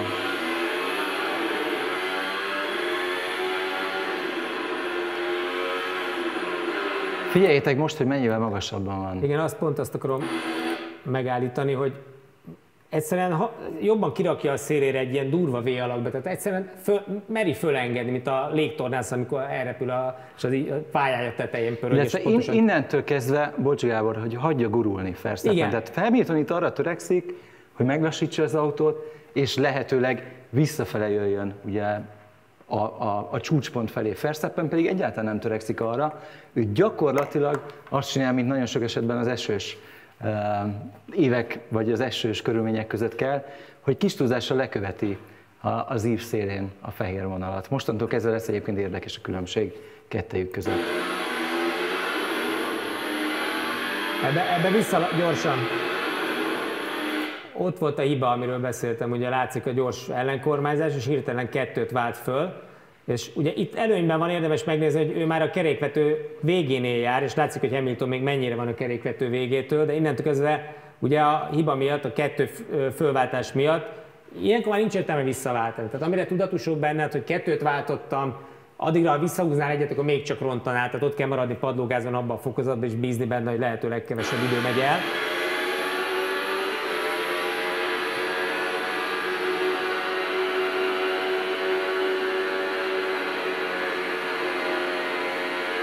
Itt jön a Hamilton pici keresztbeállás majd. Ja, bocs, azt hittem, hogy nem, nem. nem jött. És akkor itt lesz a Hamiltonnak, a, ott volt a korrigálásra még egyszer. Ah. Egészében megmutatom.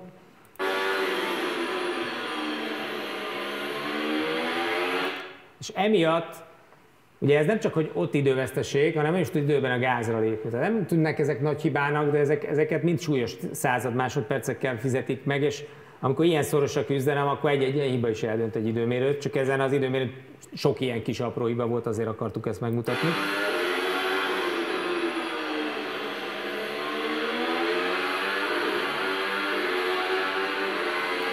Ugye azért állítom csak meg, hogy az árnyékhoz tudjatok viszonyítani, tehát itt elég nagy már a Verstappen féle előny, mindjárt jön a második szektormérő pont, ott ugye 244 ezred lesz, de utána nagyon gyorsan jön az a kombináció, amit, amit sokkal jobban csinál meg a Mercedes.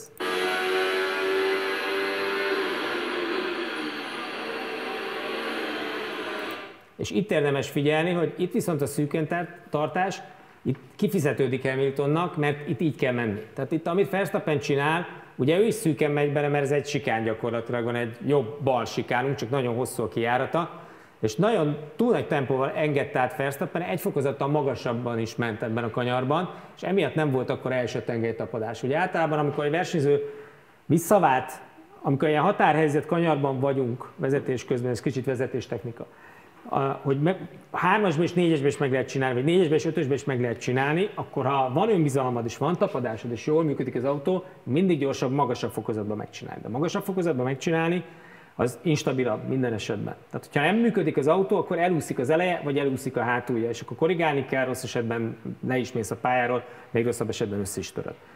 Ha egy fokozattal visszavált, az stabilitást ad, de időt is veszel. Hiába érzitek azt mondjuk szimulátoron, vagy bárhol, hogy ú, visszavált, és utána hogy húz, de a visszavált és elkezd húzni között, ott úgy mennek el a tizedek, hogy soha nem hozza vissza semmi.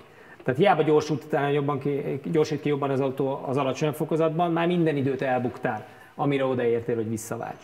Ez, a, ez, a, ez az önbizalom növelő visszaváltás, szimulátorban legjellemzőbb egyébként, mert ott úgysem fizet az ember nagy árat, hogy nem biztos az ember a kanyarba, hogy letolja az órát, akkor visszahúz egyet, és akkor padlón áthúzza, ami élőben eleve nem működne. De hogy egyébként erre én mindig tudatosan törekedtem, és tengerről nem beszéltünk még soha, hogy, hogy ahol lehet magasabbat autózzak, különösen időmérőn új gumival. Tehát ha nem is fér el versenyen mindig, de egy időmérős új gumis körbe az ilyen vagy-vagy kanyaroknál automatikusan a magasabb fokozatot autóztam, mert magasabb fokozat az 10-ből 9-szer gyorsabb köridő, még akkor is a lassabbnak érzed, mert sokkal nagyobb az átvitt tempód a kanyarot. És akkor itt van az, ahol, ahol aztán Verstappen lecsúszik róla, vissza is húz egyet, de akkor már tök mindegy neki, mert érdemes a pozicionálást nézni, hogy ugye hogy áll az orruk, és ugye a kanyarból hogy lehet rálépni a gázra, ha az orrod egy picivel kijebb áll szögben, akkor egyszerűen nem tudsz ugyanakkor rálépni a gázra, vagy ha rálépsz, akkor, akkor, akkor meg fog úszni az hátulja, vagy ki fog pörögni a kerék vagy ki fog törni, és ezzel nyerit igazán sok időt Hamilton, hogy úgy esett be ebbe a kanyarba mélyebb féktával, hogy tökéletesen elkapta azt a pontot, ahonnan megtapad az eleje, és már lehet gyorsítani, Verstappennek meg egyszer nem jött ki. És ez lehet autósajátosság is, tehát nem csak vezetéstechnika, hanem Mercedes és Red Bull különbség, de itt egész látványos volt a különbség, és innen nagyon sokat kezd el hozni rajta Hamilton.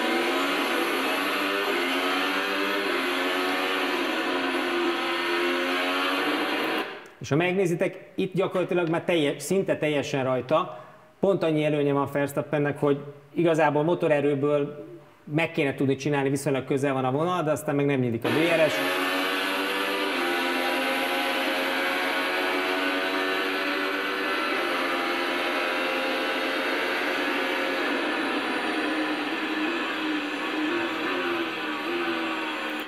És akkor marad belőle 38 ezred, úgyhogy, és ezt a csapatok ugyanúgy végelemzik egyébként, tehát hogy amikor megnézik, akkor egymáshoz képest is megnézik, mert ők is sőt, ennél pontosabb adatokkal is rendelkeznek, saját maguk is méregetik a többiek teljesítményét, úgyhogy ez egy, ez egy, ez egy kifejezetten érdekes összehasonlítás, az évből jó pár ilyen volt egyébként, vagy még lehet, hogy lesz is ezen a hétvégén, de hogy ez egyébként beszédes példa arra, hogy mi a különbség, a, lényeges különbség a két autó között, megvezetés technikailag hogy oldasz meg máshogy egy pályát, és lesz közöttetek néhány századnyi különbség adott esetben. Mehetünk szerintem tovább. Menjünk. Akkor múlt hétvége, és ez egy érdekes összehasonlítás, mert ugye ez az a kör, vagy az a két kör, megint csak Hamilton Verstappen, aminek ne, az egyiknek nem lett vége, ugye ez a Verstappen kör, ami a falon végződött a célegyenes kijáratánál, vagy bejáratánál az elején, meg a Hamilton féle pol kör. És ugye ezt telemetria alapján, ez ne, ennek nem volt meg a kom, konkrét összehasonlítása egy az egyben, mert a nem hibás körét e, rakta ki nekünk az FIA, illetve a Liberty. Ennek ellenére egyéb adatokból összerakva olyan 4 másodperccel lehetett volna gyorsabb a Verstappen, ha mindent egybevetünk a, a körén belül, addig a pontig, amíg össze nem tört, tehát durván egy 27-1-es körre lehetett volna, de a legrosszabb esetben 27-2, tehát simán polba lett volna. Ettől függetlenül, ugye, amit a versenyen láttunk, a versenyen a Mercedes gyorsabb volt. Tehát hiába lett volna polba Verstappen, hogyha elrajtolnak, és semmi kalamajka nincs, akkor is lehet, hogy ezt a futamképet látjuk a végén, hogy hátulról kergeti Hamilton, aztán, hogy hogy jött volna össze, vagy lette volna féktesztelés, vagy bármi belőle, ezt majd megbeszéljük. De hogy alapvetően egyébként ez egy brutális kör volt Verstappentől, és telemetria nélkül most már egy picit edzettük a szemeteket arra, hogy hol nyer valaki időt, meg hogy. Tök érdekes ezt a felvételt megnézni, mert szerintem anélkül, hogy mondanánk valamit, nagyon sok mindent látnátok ti is, de azért persze végig fogjuk elemezni. Szerintem először nézzük meg egyben, akkor utána végig állítgatva.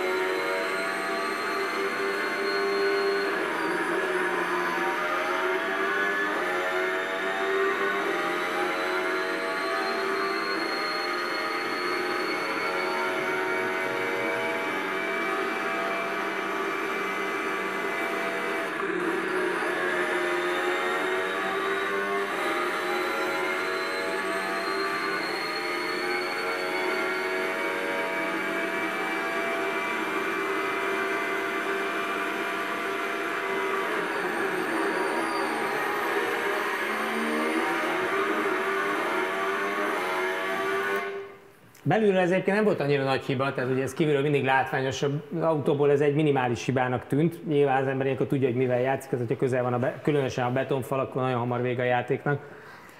Még túlautóknál és formautóknál meg végképp. Um, kezdjük előről? Nem, ne, én nekem mindjárt lenne egy kérdésem, hogy láttátok az alapvető különbségeket így lassú, gyors kanyarban, egyenesben a két autó között? Igen, igen. Abszolút. És arról még mindjárt beszélünk, hogy mi az oka, de az egyes kettes sikámban még előnyt is szerzett abszolút. Tehát nem csak az egyenesben, hanem utána a sikán is jobban megvolt a Mercedes. Szóval számomra a legérdekesebb dolog az az volt, hogy ugye a hétvég előtt is nagyon sokat beszéltünk arról, hogy ez egy Hamilton-Mercedes pálya lesz, mert sok a ugye teljes terheléses szakasz, sok az egyenes, nagy lesz a végsebesség, és ugye Hamilton Brazíliában mutatott hogy mondjam, egyenesbéli fölénye az itt, itt még hatványozottabban érvényesülni fog. És számomra megint egy nagyon-nagyon érdekes tanulság látható a videón, és ezt jellemzően én ebben a videókban a közepesen gyors és a gyors kanyarokban való kigyorsításnál láttam.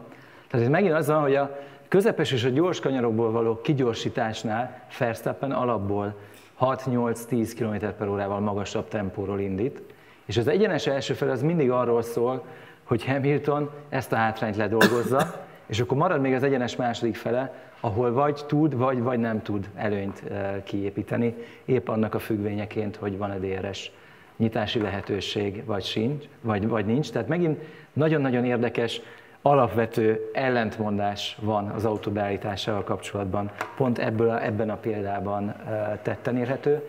Méghozzá az, hogy mennyire alaposan figyelembe kell venni a kanyarsebességet, figyelembe kell venni azt, hogy a kanyar minimum sebessége mennyivel nagyobb, és hogy mekkora az egyenes, ami a kanyart követi, és hogy ebből a minimum sebességben lévő előnyből mennyit tudsz átmenteni magára az egyenesbe, és mennyire okoz neked majd veszteséget a mondjuk nagyobb leszorító erő, vagy, vagy gyengébb motor az egyenes második felében, és hogy ezt mennyire tudod kompenzálni egyébként a nagyobb tapadással. Tehát, hogy nekem ez, hogy mondjam, ez így megvolt a hétvég előtt is, de nem gondoltam, hogy ekkora jelentősége lesz ezen a pályán.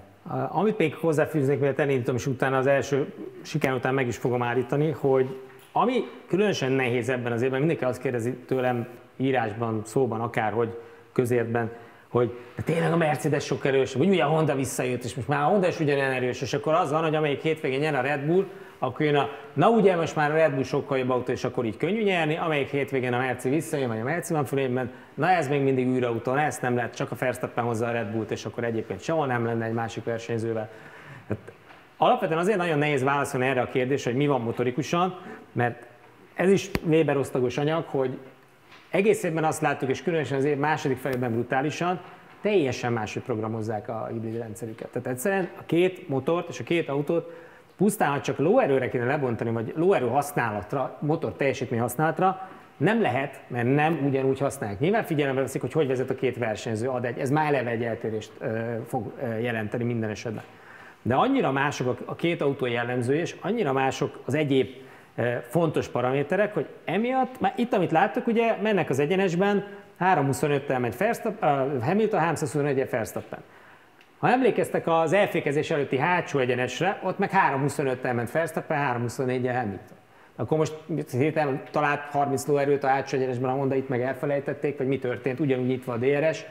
Ez már megint programozás, programozásbeli különbség, mert a Honda úgy játszott a dologgal, hogy ez egy rövidebb egyenes szakasz, ugye ugyan hosszú a kigyorsítási része, de igazából a vonaltól a féktávig 220 méter volt, ahonnan a kör idő elkezd számítani. Tehát itt azt mondták, hogy itt akkor ne adjuk neki annyi kraftot, mert az kellhet még a hátsó egyenes, meg a belső részén a pályának. Itt eldobhatunk néhány századot, mert nem, fog, nem lesz olyan nagy jelentőség, hogy veszítünk 4-3-4-5 km per órát az egyenesben. Ezért látjátok ezt a különbséget. Tehát ez nem azt jelenti, hogy a Honda ennyivel gyengébb, és ebből át lehetne számolni. Egyébként át lehetne számolni teljesítménykülönbségre, hogyha tudjuk egyébként az autó bizonyos dolgait, akkor a, a sebességértékekből, meg mondjuk a homlokfelületből, meg néhány egyéb dologból Nagyjából vannak még programok is egyébként fönt a neten, nem egy, amiben beírsz, beírod az értékeket, gondolom néhányan ismeritek, és akkor megadja, hogy körülbelül hány lóerős teljesítmény kell ehhez a tempóhoz. Vissza lehetne számolni, csak hát ez két nem egyforma autó, úgyhogy ez tök fölösleges. És különösen azért, mert hogy eltérő sebességértékek vannak egyébként a kör más részén. Úgyhogy a programozásbeli különbség tök más, és ez már Bahreinnél az, e- Bahreinben az első futamon látszott, és évközben is folyamatosan variálódott, és ebbe megtalálni azt, hogy kinek melyik motorverziója még hány lóerőt hozott, és mennyi teljesítményt hozott pluszban, vagy mennyi plusz hibrid rendszer hatékonyságot hozott, rohadt nehéz. Tehát régen se volt egyszerű a szívómotoros korszakban, ott az, egy, ott az egyértelműek voltak a dolgok, minél magasabb fordulat számon tudta valaki pörgetni a motorját, az annál erősebb motorja volt. Ettől még nem tudtuk mérni a nyomaték eh, viszonya, a nyomaték görbé és a vezethetősége, meg a fogyasztása, de úgy általában azért teljesítményre lehetett. Most sokkal nehezebb dolgunk van ilyen szempontból, és ezért nem nagyon lehet megmondani, hogy milyen karakterisztikák vezetnek oda, hogy a Mercedes általában ezzel az egyenesben több tempót nyer, a Red bull szemben, de ez nem mindig igaz.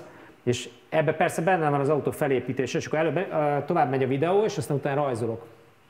Figyeljétek, hogy hogy támadják a konyart, milyen íven mennek, és hogy most körülbelül egy, tök egy ponton állnak, most mentek el a 100-as tábla mellett, vagy a 150-es mellett, és akkor innentől nézzük.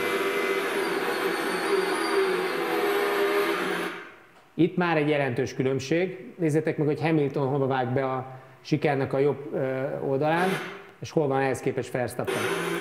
Ez már, ez már egy olyan pont, amire azt mondom, miközben itt megállítom majd a kiáraton, és látszik, hogy Hamilton előnyben van. És ez nem motorerő előny, ez vezetéstechnikai előny, egyszerűen jobban vágott be a kerékvetőre, vagy valamiért azt a Verstappen nem akarta használni, vagy ebben a körben nem tudta használni, a Red Bullnak nem ízlett az a kerékvető azokkal a beállításokkal, amikkel mennek, de mindent egybevéve a féktávon is nyert Hamilton, és egyébként magát a sikert is jobban csinálta meg, ő is látszik, hogy nagyon közel van a falhoz, itt egyértelmű előnyben van, és ez nem csak motornak köszönhető, és itt már akkor kicsi felépítésbeli különbség Red Bull, Mercedes, próbálom röviden, hogy maradjon időnk másra is.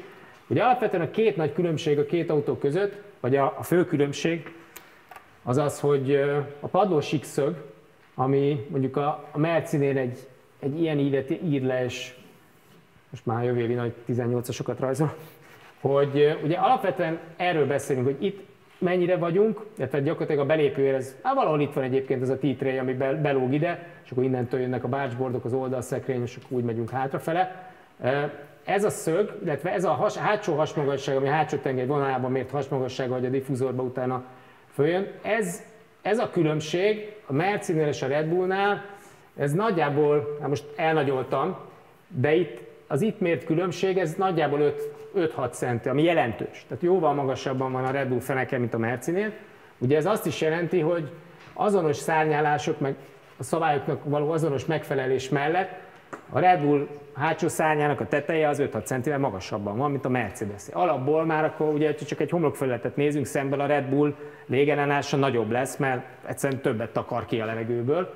És ennek megfelelően, hogyha ugyanolyan motorerejük van, minden stimmel, akkor ezzel a padlószög sík, ezzel az építési metódussal, hogy a Red Bull építi az autóit és használja, mindig lassabb autójuk lesz. Tehát ugyanazt a Merci motort használnák, lassabbak lennének az egyenesben. Pusztán csak azért, mert, mert így tervezik az autót, így építik. Ennek sok előnye van egyébként, azért használják.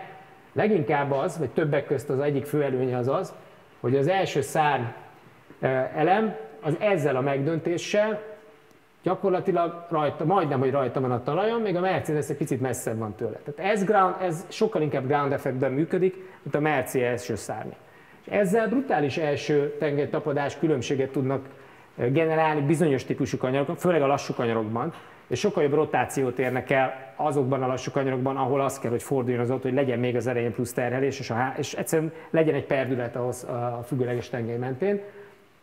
De ennek az érzékenysége egyrészt, hogy a légenásban nem jó, tehát hogy veszítenek vele tempót, és amikor a féktávra érnek, és egyébként ez, a, ez az oka annak, hogy amit látunk egyébként, hogy jóval mélyebbeket, keményebbeket fékeznek a Mercedes pilóták, mint a Red Bullosok, hogy ez az autó már eleve jobban óra van buktatva. Ha az autó elkezd előre terhelni, ez még inkább kiemeli a fenekét, ugyanakkor a hátsó szár még inkább följebb jön, tehát megnő a hátsó szám terhelése, próbál, próbál ellene dolgozni annak a billenésnek, amit, amit érez, de innentől kezdve, hogy ez a billenés megvan előre, gyakorlatilag az első szán, látszik is egyébként sokszor, főleg kanyar, amikor terhel, oldalterhelés is van, ugye ott lent szikrázik, lent húzzák a földön, főleg a Red Bullosok, de tulajdonképpen itt fel is tud torlódni a levegő, és itt teljes áramlás levelás is létrejöhet egy-egy rövid pillanatra, amikor, amikor a legnagyobb terhelés van előre. És ez az oka annak, hogy a Red Bull-al valószínűleg, ha ilyen fékezési verseny lenne, akkor a Merci nyerné, ha csak fékezésből állna a világban, és akkor egy ilyen autóval nem lehetne megnyerni, ebben a konfigurációval, de ebben az aerónak nagy, nagy, nagyon nagy szerepe van. És a másik az, hogy amikor ennyire előre terhel, és van itt egy 15 centis hátsó hasmagasság, hogyha ezt még jobban kiemeled, ugye a diffúzor hatékonysága Ugyan fékezésnél számít, de nem elsődleges fontosságú, viszont az aero balansz változás, az, hogy a, a, az, a, az az aero balansz középpont, ami valahol éppen van, és dinamikusan egyébként az autó elkezd előre terhelni. Tehát van egy, van egy vándorlásunk előre, súlypont vándorlásunk előre, de közben kiemelkedik a hátsó szárny, tehát az aerodinamikai balansz meg elkezdene hátra menni egy picit, emiatt, viszont ugye itt meg, hogyha levárik az áramlás, és itt meg megszűnik teljesen, akkor egy pillanatra az autó nem tudja, hogy hol van. Tehát, hogy konkrétan, amikor a levegő molekulák maguk se tudják eldönteni, hogy merre menjenek, vagy milyen szívóhatás képződik, hogyha megzavarja az első szárny tapadását, az első, első szárny szívóhatását ez a fajta túlzott átterhelődés ennél a beállítási metódusnál, vagy az autóépítési metódusnál, akkor instabilá válik, hamarabb tud blokkolni az első kerék, és ezért van az, hogy ugyanazokon a féktávokon, ahol a Mercedes megáll, a Red Bull már nem áll meg, vagy blokkoló első kerékkel próbál fordulni, lásd ezt a szaudi hibát. És ugye ezt, már, ezt nyilván a versenyzők belekalkulálják a vezetésükbe, és nem, nem várható el, hogy pont ugyanúgy vezessenek az egyik autóval, mint a másikkal, és ezeket az erősségeket tudni kell kihasználni, és tudni kell jókor jó helyen használni, illetve tudni kell, hogy mik a gyengéi vagy zahíres nekem, nekem van még egy, egy, egy rövid kiegészítésem ehhez, hogy, hogy ugye a, a túrautó esetében is beszéltünk az egyenes vonalú fékezhetőségről, illetve a keréktalponti erőkről, hogy ugye az egyenes vonalú fékezésnél szintén most e, ezzel a, a fajta hasmagasság különbséggel, ami a, a Mercedes jellemzi a Red Bullhoz képest, illetve fordítva, sokkal több leszorító erő marad a hátsó tengelyen, hogyha nyilván a hátsó szárny eh, dőlésszögétől eltekintünk, és nekem erős a gyanúm, hogy pont ez a kicsivel több eh, leszorító erő mennyiség, ami ugye a padlólemez hátsó részéből most még a hátsó kerekeket is érinti, az egyenes vonalú fékezésnél pont azért teszi hatékonyabb autóval a Mercedes, mert a hátsó kerekekkel is tudja eh, segíteni a fékezés. Mindegy, ez csak hozzájött. Tehát, hogy gyors kanyarokban nyilván veszítenek a Mercedes versenyzők, teljesen normális. Gyors kanyarokban jobb a Red Bull, mert sokkal több ugye a leszorító erőmennyiségük jut az első tengerre, Viszont abban az esetben, amikor ezt a fajta hogy olyan leszorító erőmennyiséget nem kanyarodásra, hanem fékezésre kell összpontosítani, ahol egyébként is az átterhelődés mennyisége bődületesen nagy ezeknél az erőhatásoknál pláne. Ott ugye az van megint, hogy nagyon könnyű túlterhelni az első e, tengelyt. És pont ez az első kerékblokkolásnál, a Red Bullnál tetten érhető. Itt az a hatékony, e, e, hogy mondjam, stratégia, vagy az a hatékony abroncs használat, amikor a hátsó tengelyel tudod segíteni az autófordulását. Nekem az is erős, vagy erős a gyanúm, hogy egyébként ebben a, az egyenes vonalú fékezés utolsó szakaszában a Mercedes egy picit hátrébb tolt fékerővel tudja fékezni és mondjuk megkezdeni a kanyarodást, és ezért is van mondjuk ilyen jellegű elfékezésből kevesebb Hamilton esetében, mint Verstappen esetében. Akkor menjünk tovább.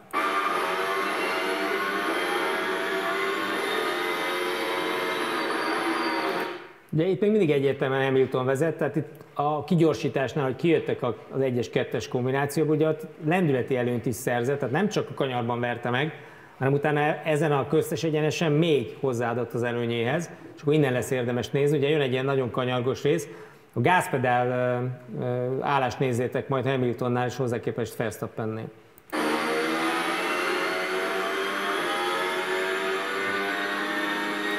Itt van egy pici beleemelés Hamiltonnál, már a bal kanyar kezdetén, ott látszik is, hogy a maximumról visszajött. Egy nagyon picit emelte el, de nem bízott benne, hogy az ott elfér.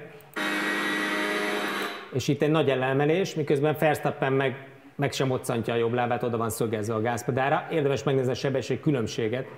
És ugye itt ez már brutális nagy különbség, és el is kezd visszajönni egyébként a lemaradás. Itt még látszik a kerékletőz viszonyítottuk, hogy még van, de 14 km h plusza is van.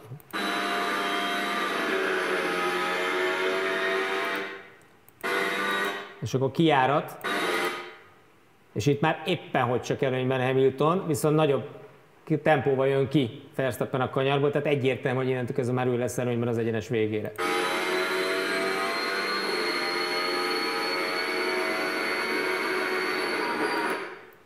Ugye itt már előnye van, majd mindjárt kírják, de amiért inkább így állítottam meg azt, hogy nézzétek meg, hogy majdnem, hogy ugyanott tartanak a pályán, és nézzétek meg a sebességkülönbséget, ugye ezt már magyaráztam az előbb, a kanyarba bevitt tempó. És Verstappen itt ebben a kanyarban, ez a döntött kanyaroknál az előbb beszéltünk róla, egyértelműen azt használja ki, hogy a döntött kanyarba gyakorlatilag úgy rongyol bele, és itt stratégiát vált, de egy teljesen más típusú kanyarról beszélünk, mint Sanfordban, ami ugye egy lassú kanyar volt egy hosszú nagy féktáv végén, oda rá kellett engedni, de nem volt gyorsabb az a kanyar, olyan 140-nél. Itt jóval magasabb a tempó, majdnem 100 több. 226, 234. Itt azt csinálja gyakorlatilag ezzel Verstappen, hogy szűkebbre teszi az autót, az látszik is, hogy szűkebbre pozícionálja, mint Hamilton, aki picit szélesebb évet autózik, de jóval nagyobb tempót visz be. Tehát egyszerűen kevesebbet fékez Hamiltonnál, és ezzel a bemeneti tempóval szerez előnyt úgy, hogy aztán az a tempó, azt a tempót át is tudja menteni a kanyaron, kihasználva egyébként azt, hogy majd a döntött kanyar közepén föl fog sodródni ugyanarra az évre, ahol Hamilton van, de pont be is tapad az autó. Ugye nagyon fontos, hogy amikor az ember azzal játszik, hogy tempót vízbe a kanyarba, bedobja, becsúsztatja, de ez a csúsztatás pici, ezeket kívülről szabad szemmel nem nagyon látjátok, belülről nagyon jól érezni egyébként versenyautóból, hogy mi történik. De nagyon nehéz ennyire patika mérlegen eh, megoldani, vagy kitalálni, hogy pont úgy végződjön egy csúszás, hogy amikor megtapad, már te tud gyorsítani. És ezekkel játszik zseniálisan Verstappen, és egyébként ez egy nagyon jó példa rá. Tehát itt van majdnem tízzel több bemeneti tempó. És itt már nézzétek meg, hogy igazából pozíció szempontjából majdnem ugyanott vannak, még mindig eh, eh, Hamilton van följebb, de ő megy gyorsabban, nyilván a magasabb évit ugyanazzal jár, mint a Hollandiában, hogy a magasabb éven ugye nagyobb átmeneti, átvitt tempót lehet vinni, de ez Verstappen valahogy meg fogja oldani, és mindjárt látjátok majd a sebességértékeket. Tehát innentől kezdve, ugye menjünk fölfelé, sokkal nyitottabb kormányjal megy már a Red Bull. Ez azért csalóka, amit most láttok, mert a kormány áttétele a Red Bullnak nagyobb kormánymozgásokat követel meg egész évben, és ez is látszik a telemetriákon.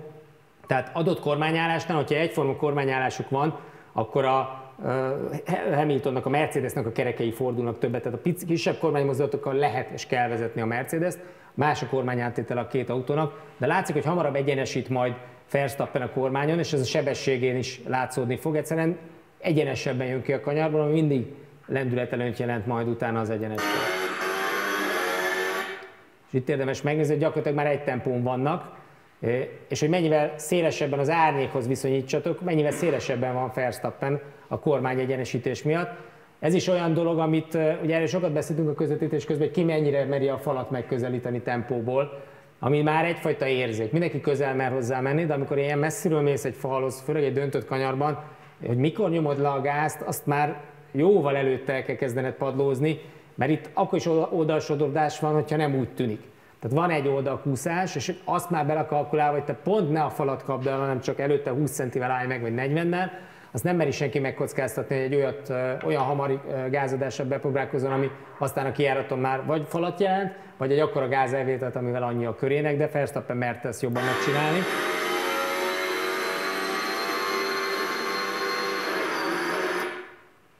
És itt már vezet, és nézzétek meg a különbséget, 20 km per óra, nem ugyanott vagyunk, ugye Verstappen előrébb jár a pályán, de eszméletlen közel a falhoz. Hamilton is egyébként rá fog menni ott a kerékvetőre. És nézzétek meg a minimum tempót. Most léptek vissza a gázra, szinte egyforma gázpedálálásuk, 204-jel megy Verstappen minimum tempóban, 188 a Hamilton. És mind a ketten rajta a falon, sőt Hamilton gyakorlatilag majdnem, majdnem üti a falat, tehát nem mondhatjuk, hogy hagyott benne sokat.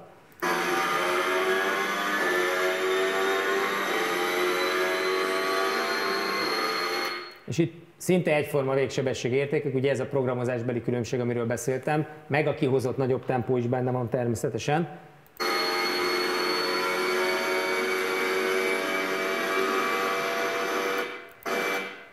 Ugye itt azért gyorsabb a Mercedes az érződik, tehát itt nem, nem marad annyi kraft a végén a, a Hondában, az utolsó harmadára ennek a, ennek a hosszú padlógázos résznek. És azt érdemes megnézni, hogy picivel gyorsabban jön a Mercedes, de hogy hamarabb is kezd itt fékezni Lewis Hamilton. Tehát a, a tendencia, amit egyébként az előbb mutogattunk az egyenes, hosszú egyenes féktávokon, a kemény féktávokon, amikor a végén egy sikán jön, vagy egy visszafordító, gyors vagy középgyors kanyarokban megfordul, és Hamilton az, aki, kés, Hamilton az, aki korábban kezd fékezni, és Verstappen megy be nagyon későn. Szinte alig fékez, tehát a, a lehető legkevesebbet fékez, hogy minél több tempót vigyén át a kanyaron, és amíg ez működik, ez mindig gyorsabb.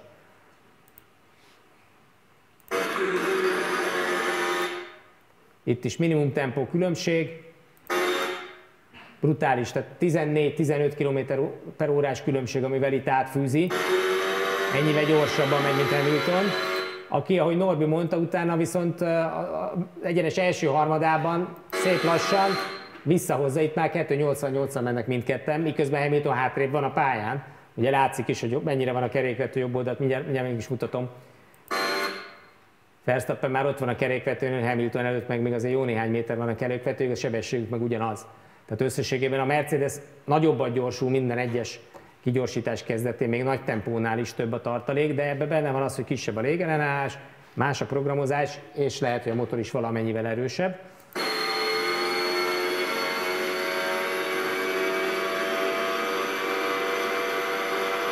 És ugye itt van az, ami miatt azt mondtam, hogy valószínűleg a Honda erre az egyenesre játszott motorprogramozással, mert itt meg, ha ezt mutatnátok bárkinek, ugye egy Mercedes rajongónak főleg, akkor hát erősebb a Honda, miről beszéltek. Nem, csak egyszerűen ez volt a legfontosabb egyenese az egész pályának, és minden maradék erőt erre az egyenesre használtak még el. Nyilván hagytak volna még a célegyeneses kigyorsításra is, de ez volt a legfontosabb egyenes az egész pályán minden szempontból. És nagyjából egyszerre fékeznek, talán Verstappen még egy picivel előbb is, mert még azt a pillanatot kaptam el, amikor ugye még Hamilton rajta a gázon, bár hátrébb van, úgyhogy nehéz megmondani, mert a tempó egyforma, Verstappen elméletileg nem fékezett jelentősen később, vagy semmivel nem fékezett később, mint a korábbi körülben, de gyorsabban jön. Tehát egyszerűen olyan nagy tempóval fűzte át az előtte levő utolsó kombináció, ugye láttátok, a 15 km per órá volt gyorsabb, mint Hamilton, és az, amit versenyzőket nagyon nehéz felmérni. Amikor van egy adott féktávod, egy pályán, amiben összelövöd magad az időmérőre, tudod, hogy új gumi, tudsz mindent, hogy most kell a legjobban kicentizni. Akkor, hogyha annyira jól elkapsz egy kanyart egy hosszú egyenes előtt, hogy emiatt jelentős sebesség növekedésed lesz, akkor az a belőtt féktávod, az már, az már nem biztos, hogy jó. Sőt, általában nem lesz jó, el lehet rontani. De egy versenyző nem így gondolkodik, tehát ahol Eddig az évköre volt. Tehát minden szempontból függetlenül, hogy Verstappen vagy Hamilton drukkerek vagytok, ez egy brutális kör volt Verstappentől eddig a pontig. És itt van az, amikor az, a versenyző úgy működik, hogy még ezen a féktávon is hozok még 5 centit, 10 centit, fél métert. És ez, amit aztán rutinból lehet, hogy az ember a felismeri, de ezek, ezek nagyon nüansznyi döntések, és lehet, hogy nem minden nap hoznád ugyanazt, ugyanúgy. Lehet, hogy itt már biztonságra kellett volna menni, és azt mondani, hogy csak egy pont olyan féktávot kell vennem, és akkor innentől kezdve jön a jelenet, aminél már nagyon kiabáltunk, ugye a füstarabbal első, és itt igazából ugrott a kör. Nem rongyolt a falnak Verstappen, a hiba már megvolt. Széles a sodródig, látszik Hamilton megcsinálja a kanyarbejáratot, szépen Verstappen itt még a féken áll, miközben Hamilton már kezdi a gázt adni. És itt elengedhette volna a kört Verstappen, de azzal feladta volna a küzdelmet, miközben az ember pontosan tudja százból százszor, hogy itt már lőttek az egésznek, hiába volt addig tökéletes, itt elment rengeteg, egy fél másodperc minimum. De lesodródik a poros ívre, a homokos ívre, és úgy dönt, hogy azért valahogy megpróbálja zsigerből megmenteni, logikusan soha nem tenne ilyet, de az ember ilyenkor nem logikusan gondolkodik, rálép a gázra ennyire a faltól, és tiszta homok minden körülötte. És ennyi, ugye sok olyan kommentet láttam, meg kaptam privát üzenetbe is, hogy mire kell a falnak menni, hogy el lett rontva ez a kör. Ugye ez a kör ez nem ott lett elrontva, mert nem ment volna a falnak, ez csak az elfékezéstől lett sok, egyszerűen nem volt meg a féktáv, szélesre sodródott, és ott, ott már egy ilyen elkeseredettségből lépjünk a gázra, hátra lesz valami, de pontosan tudjuk, hogy mi lesz ilyenkor. Nekünk annyi a szerencsénk, hogy elsőkerekes autóval ezt kevésbé tudjuk generálni. Bár azért az is, hogyha rossz szögbe áll, akkor ugyanúgy kirántod a falra az autó elejét. De ez nem volt egy nagy hiba, csak nagy árat fizetett érte, és összességében egyébként meg azt lehet mondani, hogy látva a futam összképét tulajdonképpen ez nem döntött el semmit, mert aztán ugye volt olyan pont a futamon, amikor az első rajtkockába rajtolhatott Verstappen, aztán olyan is volt, amikor nem az elsőből rajtolhatott, de mégis vezetett.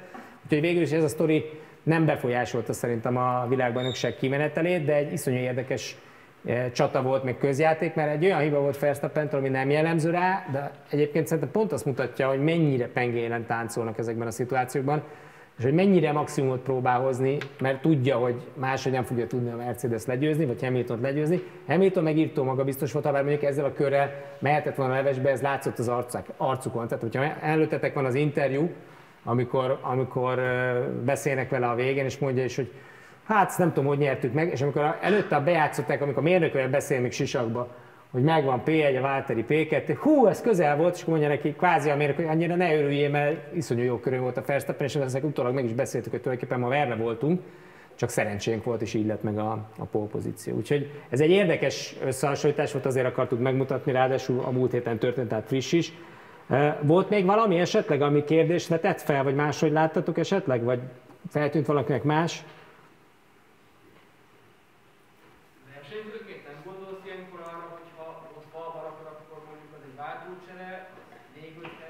Ah, már csak utólag jut eszedbe.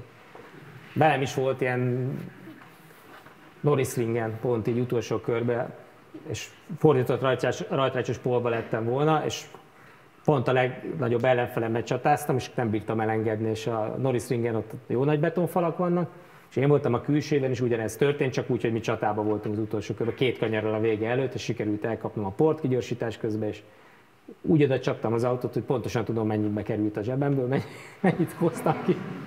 De nem gondolkodsz rajta, mert, mert amikor a szituációban vagy, akkor úgy próbálod megmenteni. Azért mondom, hogy utólag, ha ezt végig gondolja, akkor pont arra jut, hogy ez tök hülyeség volt, mert ott már ezt a kört nem lehet megmenteni. Tehát, hogy lehet, hogy a 30 éves Verstappen itt már nem adott volna gázt. A 24 éves Verstappen még gázt adott, mert valahogy úgy volt, hogy hát ha még, hát, ha még volt annyi előnyöm, hogy így is jó lesz. Tehát ezt mindketten tudjuk a Norbival, meglátunk egy ilyen hibát, megnézzük hozzá a telemetriát, és pontosan tudjuk, hogy ez 8 10 lehet, hogy egy másodperces időveszteség onnan. Én simán, én, én dobtam volna két 300 és behoztam volna P1-re. Nem, itt tényleg az van, hogy amikor versenyzeként érzed, hogy ennyi, ennyire jó körön vagy, akkor a végén is olyan kapzsi maradsz. Tehát, ah, hogy ott már nem az van, hogy ó, ez, ez most uh, életem köre, na hát akkor az utolsó kanyart elspóroljuk. Veszek egy balfasz Igen, igen, tehát ott, ott nem, nem, nem, nem ilyen dolgok játszódnak az agyadba. Pláne, hogyha végig gondoljátok azt, hogy ilyen körökön a versenyző és a versenymérők nagyon ritkán kommunikál egymással. Tehát Verstappen nem tudta, hogy mi kell az utolsó kanyarban ahhoz, hogy polpozícióban Ez a fontos legyen. egyébként.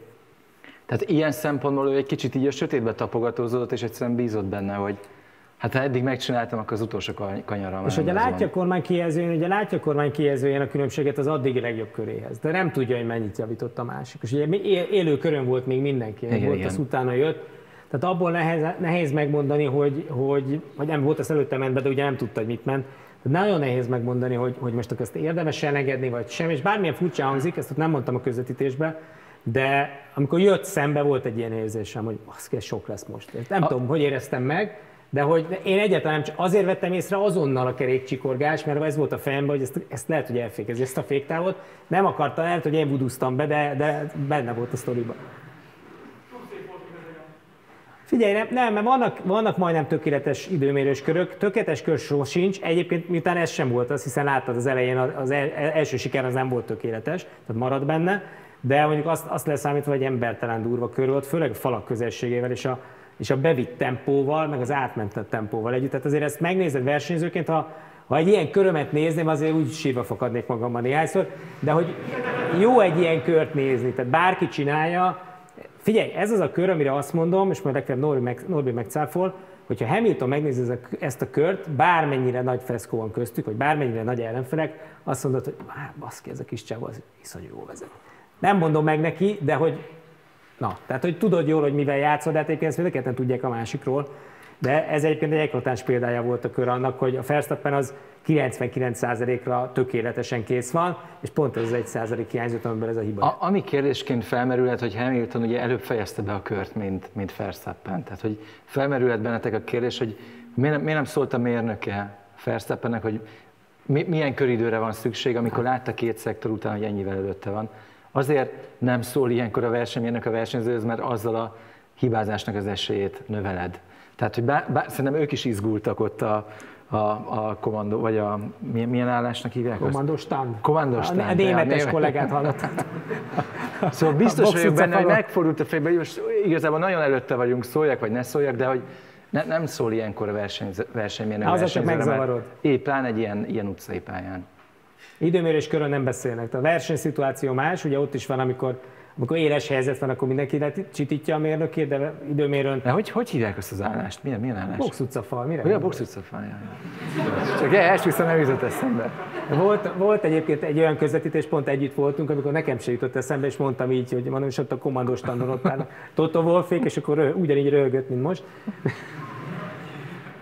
De mindegy, egyébként szerintem áttérhetünk erre a Kérde, kérdezzetek bátran. Ja, igen, hogy igazából most már gondoljátok, annyi történés volt a múlt héten meg az egész évben, hogy legyen egy ilyen kérdezfelelek. Ugye még hoztunk egy összefoglaló videót uh, Jeddai versenyről, de ha nem muszáj, nem indítjuk el. Akarjátok, megnézhetjük még az akciókat, de szerintem, szerintem inkább, a fejében van. Ha bárki szeretne kérdezni, nem feltétlenül csak Forma 1 lehet olyan is, ami nem hangzott itt el, akkor nagyon szívesen válaszolom. Nem, nem, nem hallottuk rendesen. Verstappen? Hát mennyivel jó? Ege, egálba van. Ez... Úgy... hogy, hogy nyilván beszéltünk autó és autó közötti különbségekről is. Tehát, hogy amit most a, a videón keresztül nem lehet megállapítani, az az, hogy mennyi tapadásra állt rendelkezésre. Tapadás többlete Verstappennek Hamiltonhoz képest, mert azt, azt ne gondold egy percig se, hogy mondjuk Hamilton, ha tudott volna olyan minimum sebességet produkálni, mint Verstappen, akkor nem lett volna közelebb. Tehát szerintem ennek egy része, itt főleg a kanyarokban az nem, nem csak annak köszönhető, hogy Verstappen jobban kicentiszta a kanyarokat, és mondjuk többet kihozott a lehetőségeiből, hanem arról van szó, hogy egyszerűen minden autónak vannak erősségei és gyengeségei, és itt a sarkalatos pillanatokat mutattuk meg most nektek. Itt többet kihozott Verstappen egy körön. Tehát azt gondolom, hogy a százalékos arány, vagy arányosítani kellene, akkor itt iszonyú közel volt az autó maximumához. Hamilton meg valamennyit hagyott benne. Nem, nem nagyon sokat, de kettő között itt biztos, hogy az időmérés körön Verstappen volt, az, aki kisajtolt szinte mindent. Ugye a két autó teljesítményét olyan szempontból is nézhetjük, hogyha átlagoljuk a két versenyző teljesítményét. Ha úgy nézzük, és ez a, ez a kedvező felfogása Verstappen drukkereknek, a Verstappen Perez átlag az jóval alatta van a Bottas Hamilton átlagnak, és akkor hát akkor egyértelmű, hogy a Red Bull gyengébb autó, a Verstappen hoz ki belőle többet. Valószínűleg ebben van valami igazság, de ezt csak akkor lehetne eldönteni, hogyha egy Bottas típusú egykörös pilóta lenne Verstappen csapattárs, mert Bottas iszonyú egykör. És ha egy ilyen versenyző lenne ott, és ugyanilyen lemaradás lenne Verstappenhez, vagy hasonló, akkor, akkor valószínűleg könnyebben lehetne azt mondani, hogy a Verstappen egyszerűen annyira sokat kihoz a Red Bullba, amit hogyha me, ha megcserélnék a két autót, akkor lehet, hogy simán világbajnok lenne a mercedes és, és nem lenne kérdés. De soha nem tudjuk meg ez a szépség ennek az egésznek. Egyébként meg visszatérve az alapkérdésre, itt lehet, hogy arról is van szó, hogy a, First, a Red Bull csinált egy, egy nagyon jó egykörös autót, beállították olyanra, ami, és nem akarták szándékosan elrontani a verseny esélyeiket, egyszerűen ez lett. Piszok jó volt egykörön, Verstappen ki is hozott belőle mindent, de picit gyengébb lett versenytávon, de csak a picit a lényeg. És a Mercedes meg pont az ellenkező irányba billent a mérlegnyelv, hogy valahogy nem jött össze az egy kör, de hosszú távon meg gumimelegedéssel mindenben együtt, és akkor láttad a végeredményét, tehát hogy tudta végig kergetni, és, és maga biztosan ott volt. Tehát hogy egy pillanatig nem éreztem azt, amíg Norbival egymás mert ültünk a fülkébe, hogy, hogy egyszer csak majd lerázza a Verstappen, és akkor elmegy három másodpercre, és bekocog, hanem pontosan tudtam, hogy előbb-utóbb ebből támadás lesz, mert, mert annyira látványos volt. Nem egyért, tehát hogy mondjam, egyértelmű volt a, a minimális Mercedes fölény, vagy előny, de az végig ott volt, és az konstant ki tudta használni a Hamilton. És akkor itt meg visszacsatolok még az elejére a túrautósra, hogy, hogy mindig sokkal fontosabb a versenybeállítás. Bizonyos pályákon persze nagyon fontos, hogy honnan rajtoz, de a legtöbb pályán a versenybeállítás visz minden.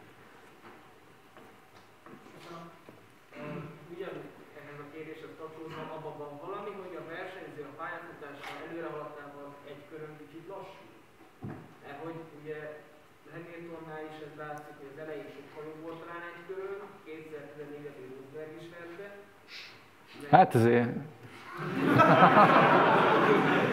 nem mindig, nem. Szóval eh, van, minél, hogy mondjam, nagyobb a fizikai igénybevétel, és minél nagyobb a sebesség, annál érzékenyebb ugye az egykörös tempó a kor előre haladtára. Tehát például most Gábornak be kéne ülni egy Forma 1-es, Szóval igen, túraautóba ezért 50-55-60 éves korig még valaki messze tudja a rutinnal és a, hogy a, a vers, versenyzési ösztönökkel kompenzálni mondjuk azt a minimális tempó lemaradást, amit van, aki már 40-hez közel is bajlódik túraautóban.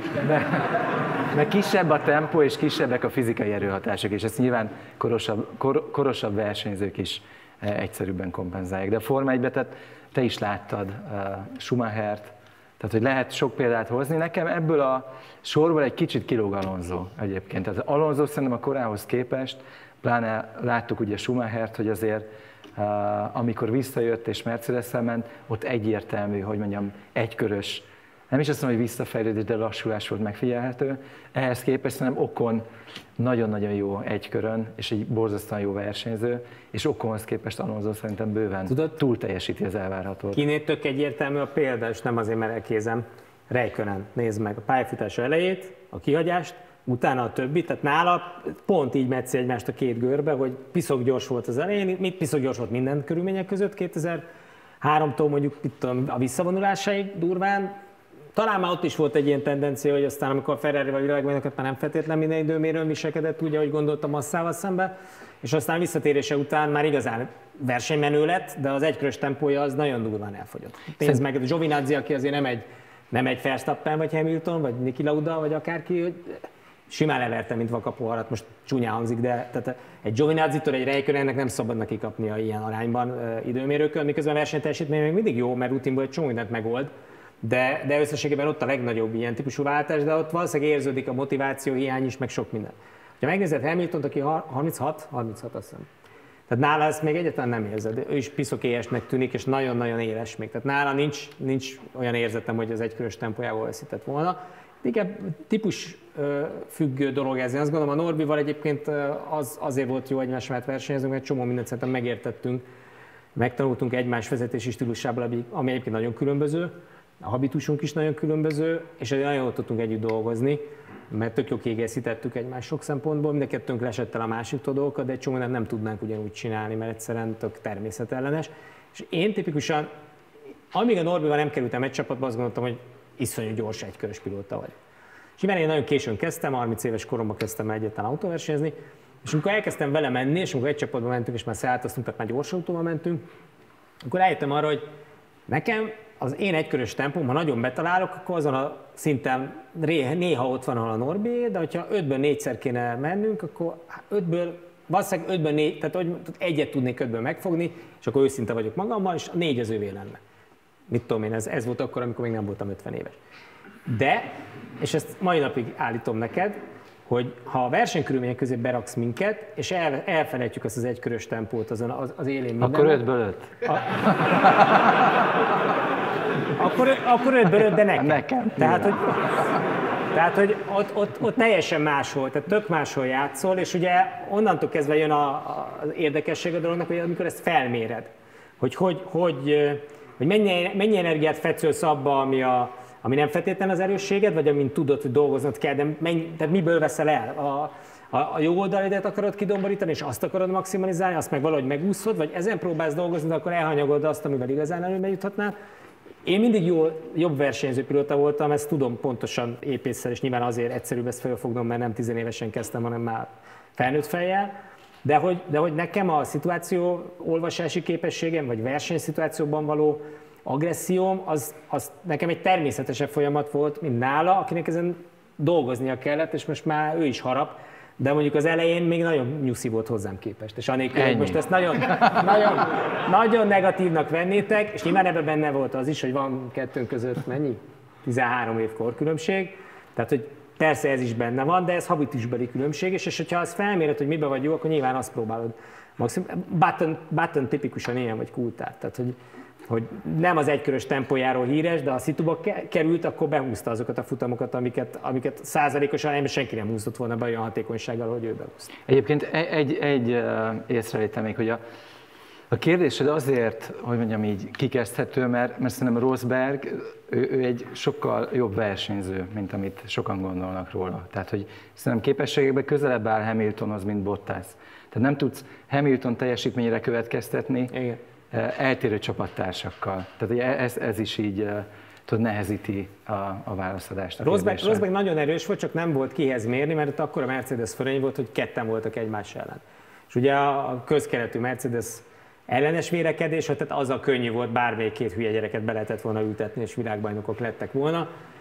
Ez azért nem feltétlen van így, de az tény, hogy Rosberg azzal, hogy visszavonult, az biztos, hogy neki erről sokat beszéltek, meg ő is beszélt, hogy neki ez iszonyú koncentrációjában, meg, meg egy olyan nagy levegővételbe került, amit valahogy 16-ba összeállt neki, de hogy többet nem tudta volna megtenni. Amit, amit Hamilton zsinórba tudott hozni, és teljesítményt annak, ahhoz Rosbergnek kellett sok minden, némi szerencsés, de nem mondom, hogy nem érdemelte meg, mert ő volt egyébként átlagban, hogyha megnézed a csapattársakat, abszolút a legközelebb Hamilton teljesítményéhez és nehéz lenne kihez viszonyítani, hogyha Rosberg itt maradt volna a mezőnyben, hogy még mit tudott volna elérni. Nem, szerint, nálam nincs Verstappen szintjén, de mondjuk Norris szintjén biztos volt.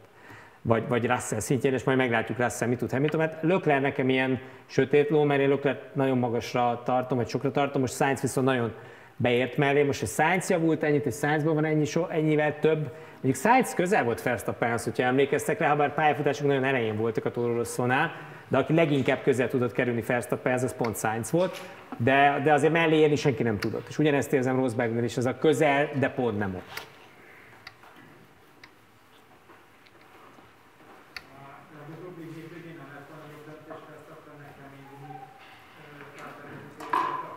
Utólag igen, de hát utólag sosem lehet gumit cserélni, mert ugye azt akarták vele elérni, amikor visszarakták őket a harmadik helyre, mindenképpen rajtot akarták megfogni, ami sikerült is ugye a közepeseken, és ugye kettőt előzött ott Okont, meg Hamilton ugrott át, és az kemény gumikon, egy sokkal, sokat megnéztem azt a manővert, itt is itt van egyébként elhoztam, kockázgattam, és pont ezen gondolkodtam, hogy az kemény gumival nem biztos, hogy kiadta volna.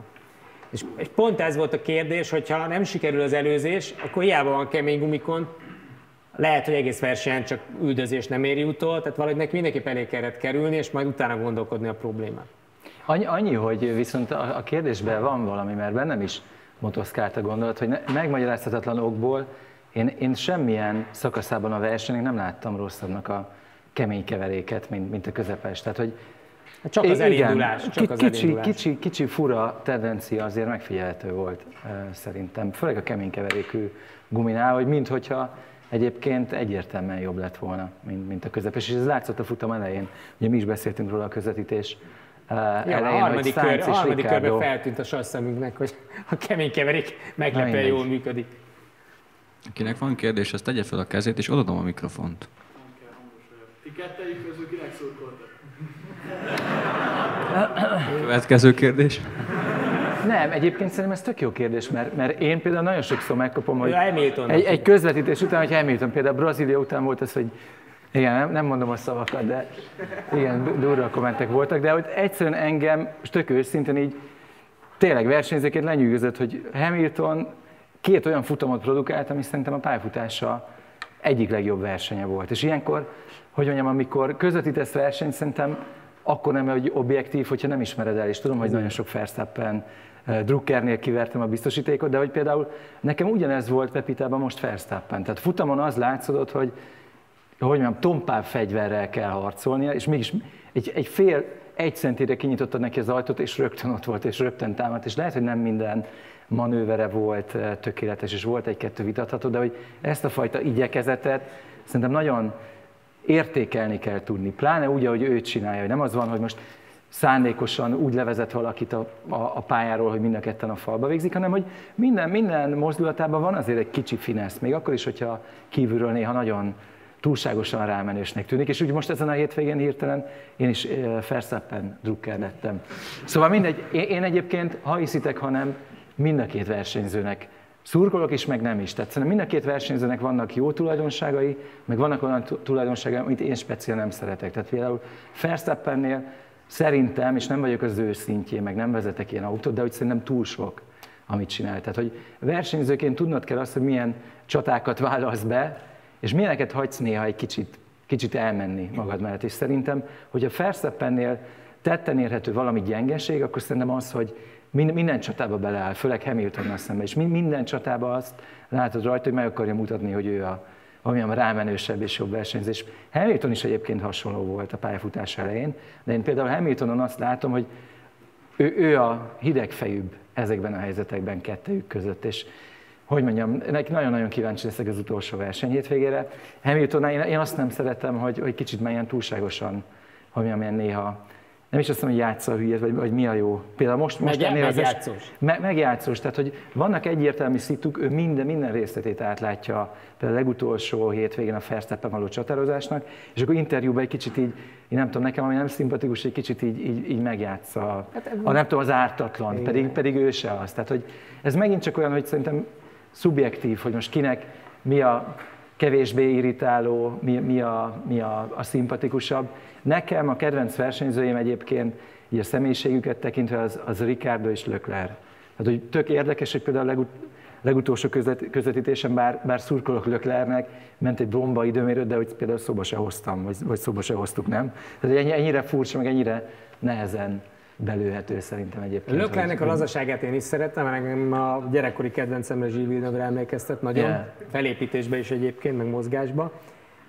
És ahogy vezet, abban is van valami, de ettől simán függetleníteni tudom magam. Egyébként emberként Fettelt szeretem a legjobban a humora miatt, a, az összeszedettsége miatt, a, a, a, a intelligenciája miatt, igen. Tehát, hogy a Fettelben van valami plusz, ami, ha azt kérdeznétek, így sose kérdezik, hogy kivel ülnék szívesen vacsorázni egyet, akkor 10-ből 10-szer Fettele, biztos. Norbi.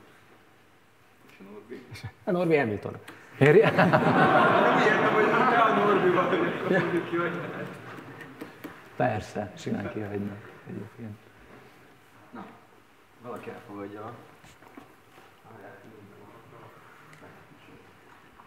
Hétvégén az látszódott, nem, jó, mindegy. Tehát az látszott, hogy a T6, T7-es kombinációban talán T8 is oda tartozik. Ott Perez és Verstappen is sokkal gyorsabb volt, mint a két Mercedes pilóta. Időmérőn is ugyanez látszódott. Tehát mind a két Red Bull pilóta gyorsabb volt, és az, hogy szerintetek ez annak köszönhető, hogy így a szezon vége fele, vagy a nagy tét miatt nem annyira mernek kísérletezni extrémebb beállításokkal, vagy egyszerűen a Red Bull nagyobb hátsó tapadása, vagy valamilyen más vezetésbeli probléma miatt? Ez, ez Red Bull karakterisztika, az egyértelmű. Mm. Annyival középgyors, gyors kanyarokba, annyival magabiztosabb az autó, annyival, ugye ha emlékszel, vagy nem tudom mennyire nézted a szabad edzéseket, ott volt, sőt, meg az időmérén is volt Hamiltonnak ott egy megúszás, és akkor áttett, ott volt egy bukótér, a átment rajta, visszajött, Tehát a Mercedes ott nagyon penge ellen táncolt, és a, Red Bull meg annyira stabil hát volt. itt is lá, láttad, itt, bocs, is. Itt, itt, volt az, amikor a Gábor megállította, hogy Verstappen ja. padlón ment végig. Igen, csak azért tudnálkoztam, hogy az F1-en is látszott, az F2-en is csomószor hallottam, hogy a rádióbeszélgetések alapján, hogy mondták Hamiltonnak, hogy T7, T8-ban vesznek Verstappenhez képest, és azt várná az ember, hogy időmérőre ez a különbség akármelyik irányba, de mindig csökken a két autó között adott kanyarokban, hogy látják, hogy valamilyen kanyarban ennyire sokat vesztenek, akkor az csökkenni fog időmérőre. Hát, hogyha az autó karakterisztikája nem engedi, akkor próbálsz is lenni, de a végén a falon végzed. És azért láttuk ezen a hétvégén, hogy ez milyen könnyű olyat hibázni utána a darabokban. Hát te, ha nem is a versenyző, de az automától a darabokban van. És akkor volt egy-két szerencsés eset is, ugye Sainz is, vagy, vagy Alonso is a futamon, de azt gondolom, hogy Hamilton abban nagyon jó, hogy tudja, hogy hol van a 99 százalék. Tehát Verstappen se hibázott sokat, gyorsan írjuk alá, és volt Hamiltonnak szerencsés hibázása is az év elején. De hogy alapvetően, amit Hamilton konstans nagyon jól csinál, hogy mindenhol, minden körülmények között nagyon közel megy a 100%-hoz, de, de nem megy fölé. És ez a nagyon jó hiba százalék, ami miatt nagyon sok pontot gyűjt, és ami miatt nagyon nehéz legyőzni egy egész év távlatában, és ehhez kellett egy Verstappen kvalitású versenyző. E- ezen a hétvégén ugye az volt, hogy te is szóba hoztad, hogy pénteken már látszódott ez a tendencia. Pénteken este a Mercedesnél is biztos lehetsz benne, hogy látták ezeket a különbségeket, viszont ilyenkor mindig az van, hogy ők voltak elő, ugye pénteken. Ilyenkor mindig az van, hogy látod, hogy a másik autó hol gyors, de ők akkor azt érezték, hogy náluk van még egyébként az előny. És ilyenkor mindig, hogy mondjam, az eredményjelzőmet a saját szimulációját veszed alapul. Aztán a harmadik szabadedzés alkalmával már látszódott egyébként Red Bull fölény, de addigra már lement három szabad edzés, nem kezded el felforgatni az autódat, mert másnál látsz valamit. Ott egyszerűen az, hogy időmérőn azt használod, amit van, és ami mellett uh, ugye a hétvége korábbi részén letetted a, a, a garast. Ja, hát ez messze nem ilyen, tehát ott... Fú, hát versenyhét, VTCR-ben egyébként nem. Olyan, olyan alapszimulációnk volt, még, még a VTCC-ben, amikor a TC1-es autókkal mentünk, amik ugye kicsit kifinomultabbak voltak, mert nagyobb leszorító erőt termeltek, hogy egy, egy ismert versenypálya előtt tudtunk olyan szimulációkat lefuttatni, ami alapján meghatároztunk, hogy egy pálya most a, a légellenállásra vagy a leszorító erő mennyiségére érzékenyebb, és akkor ez alapján döntötted el, hogy a hétvégét most ezzel a fajta koncepcióval kezded első és a hátsó hasmagasság között, ugye nekünk is sík padlólemezünk volt, tehát az aero nyomás középpontot tudtad előre tolni, hogyha ugye megemelted az autó hátulját, ezzel tudtad az első tengelynek tapadást adni, de ugye a Gábor is említette, növelted a homlok felületet. És ugye ezeket a, ezeket a fajta kompromisszumokat szimulációval viszonylag jól uh, lehetett modellezni versenyhétvég előtt, de aztán a mechanikai tapadás viszonylatában tehát, hogy nagyon sokat foglalkoztunk azzal, hogy egy, egy virtuális modelljét megalkossuk az autónak még a, a Hondának abban az időben, de soha nem jutottunk el arra a szintre, hogy bizonyos beállítás változtatások ugyanolyan hatásúak legyenek, mint, vagy, vagy kevés olyan volt, aminek ugyanolyan hatása volt a virtuális térben és a valóságban.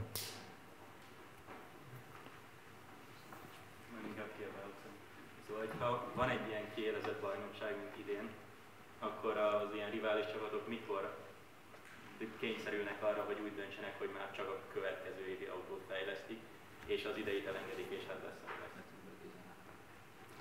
Persze, szerintem ez csapata válogatja, meg, meg rendelkezésre álló humán erőforrás, meg, meg, meg tőkemennyiség válogatja, meg, meg adott pillanatban elfoglalt pozíció, tehát erre szerintem nincs, nincs egységes Hát idén nehezebb, mert ugye már 145 millió dolláros költségvetési limit él, tehát azzal kell főzni, és a jövő évi autók fontosabbak. Tehát most már azért, tehát igazából Ősszel már nagy fejlesztési csomag, sőt, semmilyen fejlesztési csomag nem volt senkire, már csak ilyen reszelgetések, kisebb alkatrészek, még ezt megpróbáltak, még a meglevő padlólemezen módosítottak, de hogy tehát nagy csomagban már senki nem gondolkodott, sőt, tehát igazából a Mercedes meg a Red Bull kivéve mindenki más engedett. Mindent ugye a Ferrari meg a motorra variált egy kicsit, azt is már jövő év miatt, ugye befogyasztják onnantól ezzel a jövő évben, amilyen motorokat leadnak, ugye az a szabály, hogy még lehet fejleszteni egyet, és amivel rajthoz állnak, illetve amilyen elemeket még bevetnek az ideihez képest változtatásként, azzal fagyasztanak be minden homologizációt, és utána évekig nem lehet hozzányúlni. Ugye ezért vállalt a Red Bull, hogy legyártja magának a Honda által fejlesztett utolsó verziót, a 22-es verziót, és onnantól kezdve igazából minden tiltva lesz, tehát a motorok olyanok lesznek, amilyenek. Úgyhogy ezért, a Ferrari például ezért dolgozik még azon, de hát ugye az független büdzsé egyébként az autóépítéstől.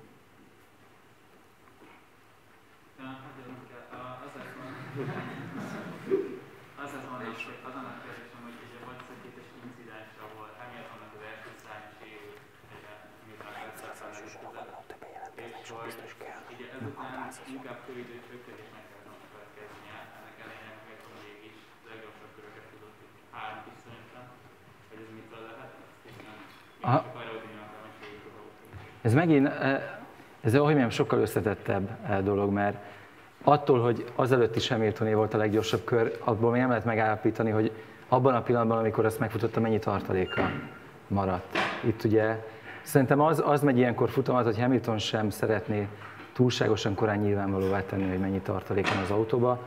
Próbálta Verstappen mögött úgy belőni a lehetőségét, hogy ne fogyassza túl a gumikat, lehetőleg nála legyen a leggyorsabb kör, de mindig egy ilyen nagyon érzékeny Eh, egyensúly mentén táncolt azzal kapcsolatban, hogy épp most egy adott pillanatban mennyit présen ki az autóból. És aztán ami után megsérült a szárny, ott hirtelen szerintem beleadott eh, mindent. Tehát szerintem kétségtelenül lassabb volt ez az autó, mint korábban, amikor megfutotta ezt megelőzően a leggyorsabb kört.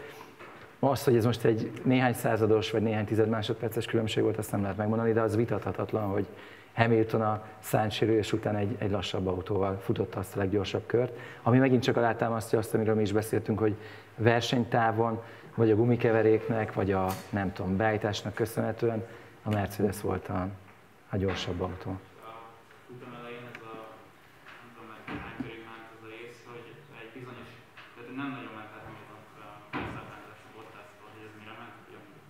Hát, hogyha jön egy safety, tehát, hogy ott, ott a verseny elején megint az van, hogy van egy biztonságos különbség egyébként Bottashoz, a mögöttet haladóhoz, meg aztán a, a Verstappen, ez aki Bottas mögött maradt, hogyha verseny elején, ugye gondolj bele, hogy a másik szabadedzésen is volt piros zászló, nem igazán tudták pontosan felmérni, hogy melyik keverékkel meddig tudsz menni. És ugye az van, egy kicsit megint tapogatózva kellett felismerni azt, hogy egy adott gumi eh, med, meddig tud majd menni. Ugye senki nem tudta azt az első néhány körben, hogy jön-e safety car, nem jön-e safety car.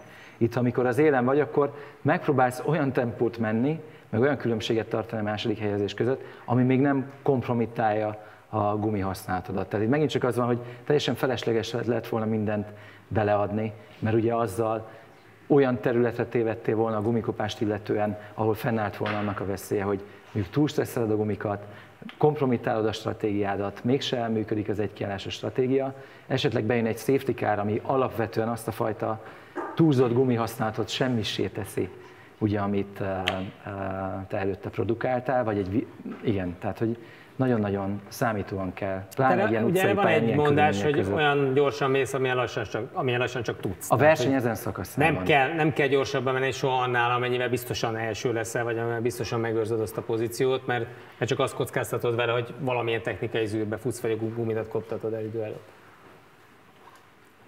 Kérdés még? Vagy a hátsó sor majd visszatér. Újaknak is adjunk esélyt. Szóval, hogy a, volt most Jeddah kifejezetten, ugye ez a pálya még másfél hónapja nem állt nagyon így sehogy, vagy hát így az aszfalt le volt Még csütörtökön is épp, hogy készül. Igen, és hogy lehet egy ilyen pályára felkészülni, mert hogy új pálya nem volt nem lehetett leszkennelni 3D, ugye akkor szimulátormodell sem volt olyan pontos. És mégis mindig a falon mentek már, mint hogy minél közelebb, legpontosabban, leggyorsabban, akár már az első szabad edzésen is.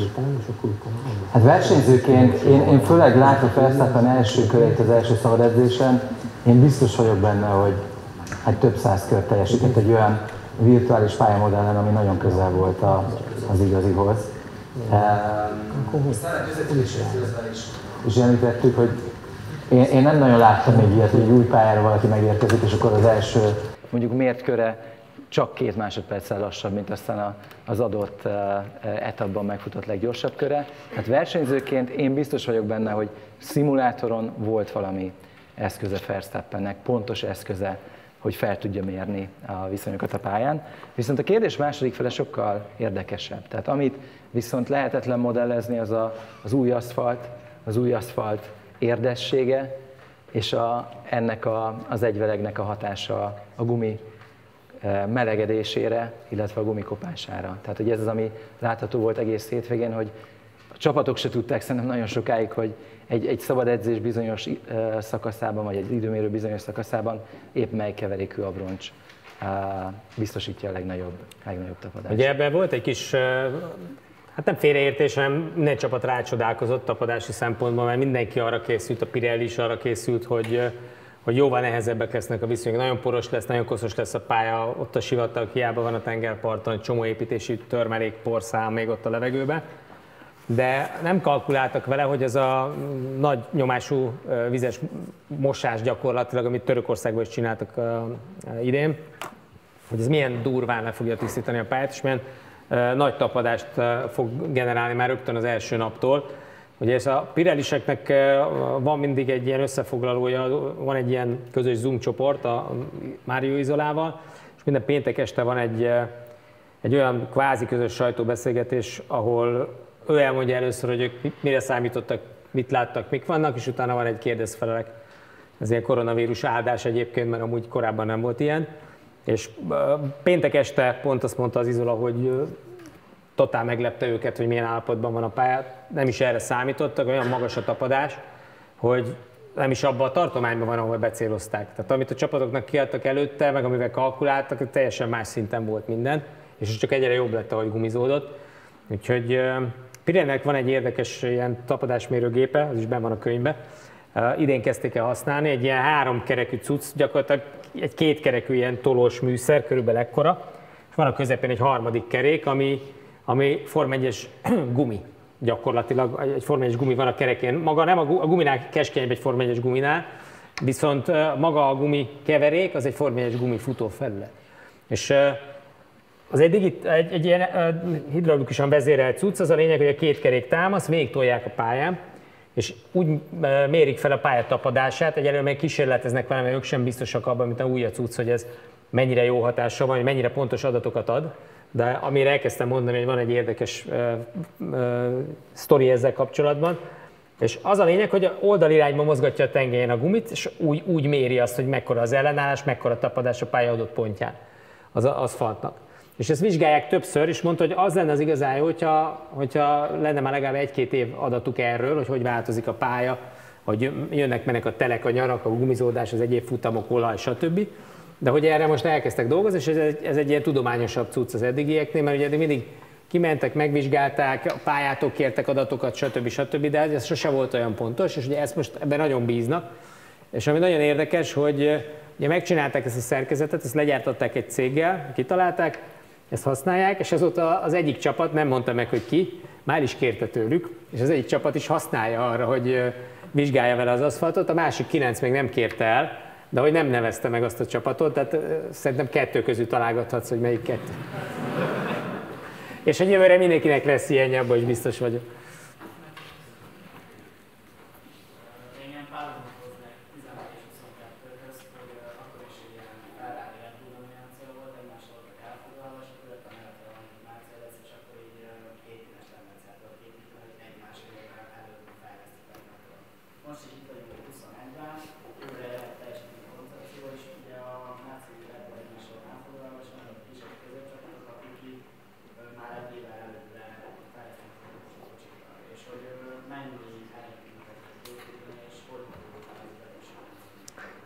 Azért nem ül a párhuzam teljesen, mert 14-ben ugye egy hibrid koncepció jött, tehát ott az erőforrásváltás volt a nagy. Most meg az aerodinamika lesz az óriási különbség, és az autók felépítése. És ugye a Mercia ott motorikusan vert meg mindenkit, miközben csinált egy piszok autót, de maga az autó, ha nem lett volna ilyen erős a motor, nem lett volna ennyire domináns, sőt a Red Bullnak még lehetett volna, valahogy a Red Bull labdába tudott volna rúgni talán, de ott ugye meghaltak motorból a Renault-val.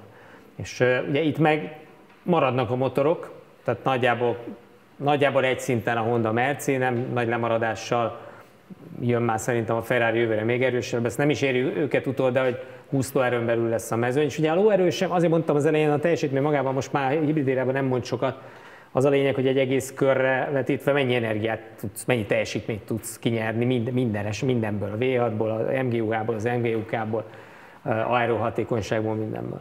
Úgyhogy azért nem gondolom, hogy itt ilyen nagy előre, lehet persze, mindig van meglepetés, vagy benne lehet a pakliban, hogy, hogy valaki nagyon betalál erre az új koncepcióra, erre a kvázi vinkáros korszakra a Venturi csatornás oldalszekrényekkel, de figyelj, a nagy csapatok annyival több pénzből gazdálkodnak, gazdálkodtak eddig, hogy azt a tudást, azt a mérnöki teljesítményt, azt a know-how-t, ami ott van, azt mindig ők tudják jobban megugrani. Tehát írtó kicsi az esély arra, hogy egy 130, eddig 130-135 millió dollárból gazdálkodó ház, aki alatta van a mostani határnak is egyébként, vagy a 150 és 200 millió közgazdálkodó középcsapatok, az eddig 450 milliót költő nagy csapatok ellen bármit tudjanak kezdeni.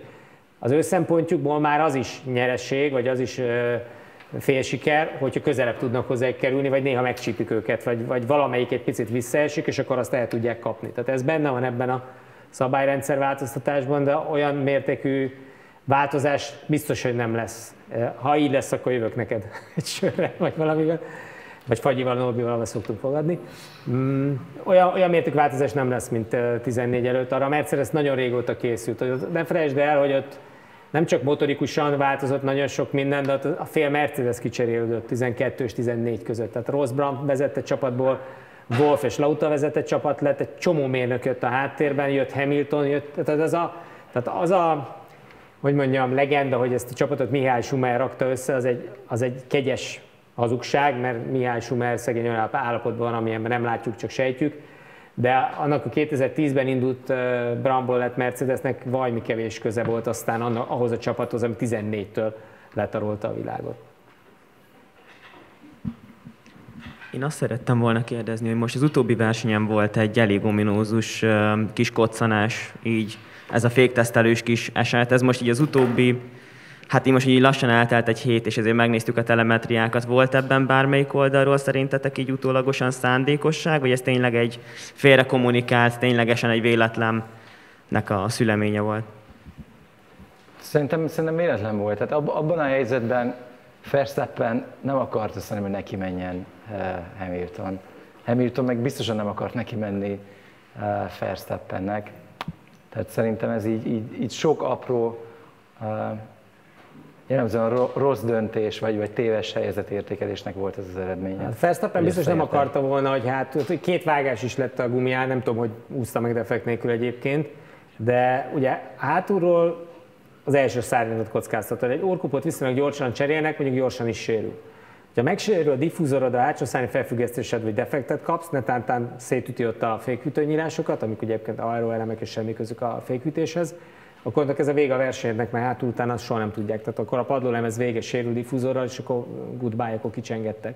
Tehát, hogy ezt előről nem kockáztatod. Ez tipikusan inkább olyan szitu volt, amikor áll a dugóban a két idegeskedő, és mind a kettő acsarkodik a másikra, és egyik sengedél a másikat, de igazából mind a kettő azon, arra gondol, hogy majd, majd a másik elhúzza a kormányt, és összemennek, és utána állnak a izével lett a sárvédő törés mellett, és cserélik a betétlapot, hogy ki volt a hülye. Tehát, hogy ez igazából az a szitu volt, hogy Verstappen ki akarta kényszeríteni, hogy mindenképp előzze meg, még a DRS vonal előtt, Hamilton meg dehogy akarta megelőzni, mert pontosan tudta, hogy mire játszik. Ő meg bealudt amiatt, mert bement mögé. Az egyetlen hibát, amit Hamilton elkövetett ebben a szituban, nem kellett volna bemennie ilyen közel Verstappen mögé.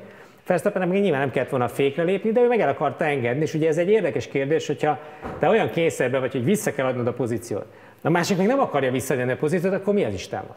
Tehát a kis túlzással nincs másik 18 autópálya, vagy már nem tudom, akkor hányan voltak versenyben, lehet, hogy csak 14-en, hogy, hogyha mindenki kiesett, most képzeljétek egy olyan szitut, mindenki kiesik, ketten vannak a pályán. És addig játszák ezt a sztorit, hogy megállnak. És akkor még ma is ott ülünk, és azt közvetítjük, hogy ki indul el. Tehát, hogy tehát erre, erre, erre, erre valami megoldást kell szülni, miközben pont így ír, ír, íródik mindig újra és újra a szabálykönyv, hogy történik valami, amire nem volt korábban precedens. Lásd a mázi féle lerádiózás arról, amit nekünk bejátszottak, hogy most hány hely, hány pozíció hova, miközben csak annyi történt, hogy amikor neked valakit el kell engedned, mert szabálytalanul szereztél pozíciót, akkor leszólnak, ugyanígy leszólnak a csapatokra. Hogy figyelj, szóljatok neki, hogy engedje el, különben, hogyha nem teszi meg, akkor jelentik a felügyelőknek, és jön az 5 másodperc. És miután olyan még soha nem volt, amióta ez a visszaadós szabály él, illetve amióta egyetlen így kezelik ezeket az előnyszerzéseket, hogy piros zászlós megszakítás lett volna az akció után közvetlenül, ahol az előnyszerzés történt, erre nem volt precedens. Itt tett egy precedens, és hogyha Mázi ezt nem ajánlja föl, akkor a Red Bull azon vesztett volna rajta, hogy fölállnak a rajtrácsra, és kötelezően a felügyelőknek jelentették volna a pozíciószerzést, amit nem adott vissza. És az 5 másodperc lett volna. Tehát nem véletlen fogadta el a Red Bull a pozíció cserét, miközben nagyon furának hatott az egész diskurzus, és elsőre mi sem értettük, mert ilyen még nem volt. És a Mázi meg olyan volt őszintén, mint aki eljött vizsgálni, és kurvára nem tud semmit. Tehát, hogy hát ott van az, ja, az okon is ott van, akkor nem, akkor nem. Tehát, hogy, de azért tegyük hozzá, hogy, hogy nyilván azt gondolom magam, hogy le tudnék vezényelni egy versenyt, mert, mert miért ne? De hogy, de hogy azért azt is tudom, hogy ez mennyire nehéz dolog. Tehát, hogy minden hülye szabály eh, kis paragrafussal, alparagrafussal, ilyen függelékkel, olyan függelékkel is tisztában kell lenned, ismerned kell, hogy utána mit üs fel, vagy a melletted ülők mit ütnek föl, és akkor még mit nézel összeértelmezésére, hogy az minek felel meg, minek nem felel meg. Közben beszél, nyúznak a csapatok, mert egyszerre hívogat a Merci, a Red Bull, meg még akár az Alpin is, most az okonnal mi lesz, hogy, hogy és közben adásba vagy rakva. Tehát ez egy, ez egy rohadt nagy nyomás, és ezt 5 másodpercen belül úgy megválaszolni, hogy ilyen flottú minden, ez, ez a Charlie Whiting se tudta. Tehát az is olyan, hogy megszépíti az idő az emlékeket. Charlie Whitingot ugyanúgy elkésztük, és volt is ok sokszor. Ezeket sokszor nagyon nehéz eldönteni. Az a baj, hogy azt várjuk el, hogy pillanat tört rész alatt legyen egy döntés, de az korrekt legyen. Hát hogy legyen? Hát nézd meg a Varta fociba, vagy bármi más, hogy legyen. Nézd meg egy NFL meccset. Van, hogy áll a meccs 20 percig, és még a New Yorki központban még 65 szögből videózzák, és kiderül, hogy a 66-ból nincs meg a felvétel, és nem tudják eldönteni, úgyhogy maradt a pályán hozott döntés. Tehát, hogy nagyon sok szituációban mindig van új történés, mindig van új precedens, és arra nem lehet flott választ adni, mert az igaz, igazságtalan. Ha szerencséd van, betalálhatsz, de azt mondja a versenyigazgató, hogy az a négy felügyelő, hogy ez és ez van, majd utána kiderül, hogy új szegény csávótól megfosztottuk a virágba egy címtől, mert nem ez volt a jó döntés, ezt nem vállalhatod be. Ezért, ezért van mindig ez a húzavona, meg ez a, ez a látszólagos tanácstalanság. Hogy uh, jön most Abu Dhabi, ugye, egy kis pályaváltoztatással, és mire lehet számítani úgy, hogy tavaly Verstappen volt gyorsabb? Nekem a, a tavalyi futam nagyon gyanús. Tehát, hogy ott nem tudom, hogy hányan néztétek, de az, az kicsit túl sima Verstappen győzelem volt. Tehát, hogy nem tudom, ott volt szerintem a, Mercedesnek egy kicsi taktikázás abban, hogy ez, ez ennyire sima volt. Emlékeztek rá, idei gumikat próbálgattak azon a verseny hétvégén. Én összességében valahogy azt érzem, hogy a tavalyi Verstappen futamgyőzelmet alapul venni, bár szolgáltat némi információval, de nem, nem szolgáltatja a teljes képet. Tehát, hogyha esélylatolgatásba szeretnénk menni, akkor én azt gondolom, hogy ezen a pályán egyenesek, kemény féktávok, jellemzően a lassabb kanyarok miatt én, én minimális Mercedes várok, és akkor ezt, ezt kell a mérleg egyik serpenyőjébe tenni, a másik serpenyőjébe meg a tavalyi nagyon-nagyon sima Verstappen uh, futamgyőzelmet. Én nem mernék most egyébként tippelgetésbe belemenni, vagy be, belemernék menni, de tét nélkül.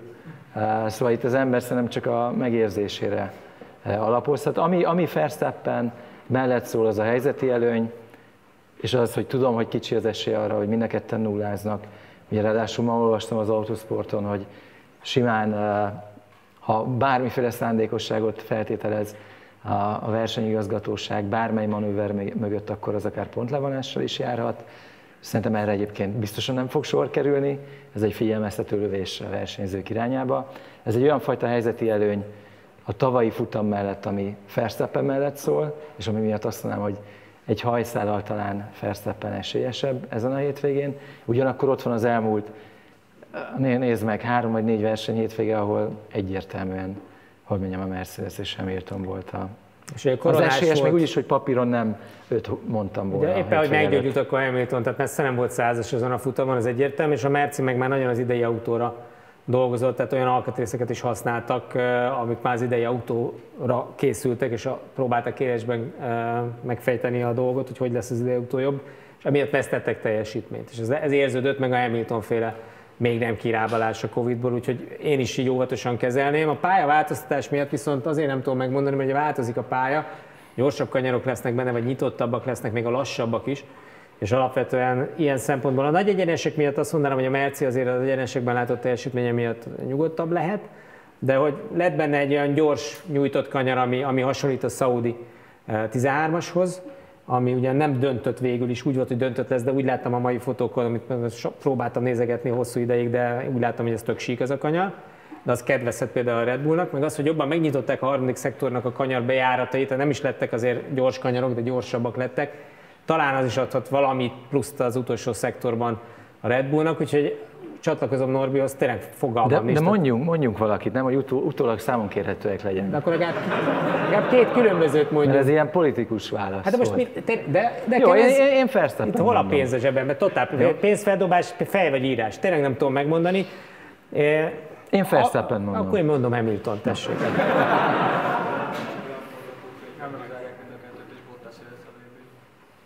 Mi?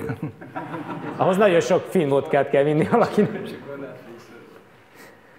Nem, a kizárást egyébként nem tartok, tehát azt gondolom, hogy most eh, az utolsó előtti futamon feszült túl a hangulat, vagy a, a húr, és igazából már csapatok egyébként feszültebbek. Tehát ha megnézitek Wolfot, Hornert, a többieket, a csapattagokat, ott mindenki sokkal nagyobb feszkóban van, mint a két versenyző.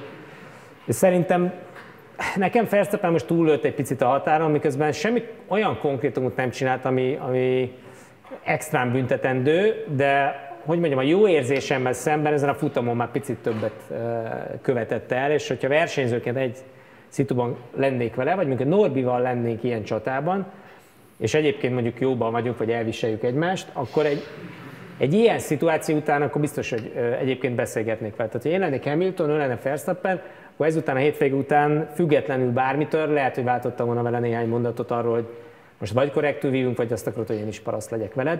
Tehát, hogy az, amire Norbi utalt, hogy minden egyes csatát meg akar vívni és meg akar nyerni Verstappen, ilyen nem létezik. Tehát nem, a világon nem volt még ilyen versenyző, hadvezér, senki. Úgyhogy meg kell tudni választani a megfelelő csatákat, és a kevésbé fontos csatákat el kell engedni ahhoz, hogy egyébként a fontos csatákat az ember megnyerje. Talán ez az, amiben Hamilton előrébb jár, de nyilván 12 évvel idősebb, hogy pontosabban választja meg a csatáit és az akcióit, és nagyon okosan tért ki egyébként a Verstappen féle dolgok elő az elmúlt futamokon. Verstappen meg az az a tipikus ilyen intimidator típus, aki mint a Dale Earnhardt volt annak idején, hogy vagy átmegyek rajtad, vagy nem. Tehát, hogy itt mindenképpen vagy mind a ketten kiesünk, vagy, vagy elengedsz, vagy csak te esel ki. Tehát, ilyen verziók vannak. És hogy, hogy ez egyébként működik egy csomó embernél, ebben nagyon Szennára hasonlít nekem Verstappen, Senna volt egyébként teljesen ilyen, és ki nem állhattam ezért. Miközben nagyon elismertem azt, hogy, hogy mit tudott, de hogy, de hogy az állandó, amivel Verstappen jobban szeretem e- ettől, az az, hogy, hogy nem teszi hozzá ezt az állandó, de Isten fogta a kezem meg, innen vezérelt, meg onnan vezérelt, megmondja pacekba, hogy mi van, amit nyerseségnek érezhetünk, meg azt gondolhatjuk, hogy faragatlan, meg tudom is én, de én ezt sokkal jobban szeretem. Tehát ha valakivel egyértelműen rosszba vagyok, és tudok róla, az egy korrekt szituáció. Amikor elkenjük a szitut, és akkor visszatérünk a Hamilton féle sztorihoz, ugye, amit Norbi kezdett pedzegetni, hogy amikor pontosan tudod, hogy ő azért csinálja, mert pont tudja, hogy ott a DRS vonal, és az egész terv ott van a fejében, mert mind a kettő ilyen éles, mint az állat. És utána azt mondja ilyen ártatlan a mikrofon, hát én nem is értettem, hogy miért fékezett, nem, nem, majd meg kell néznünk, hogy mi történhetett ott. Hát, tehát ennyire ne vegyünk már hülyére mindenkit, hogy mondjuk már meg, hogy mi volt. Igen, miből át volna azt mondani, hogy hát nem akartam megelőzni a DRS vonal előtt, hülyék vagytok, hát mi más csináltam volna. Minek fékezett, úgysem megyek el mellette. Nem ezt mondja, hanem ezért világbéke. Tehát nem, nem tudom.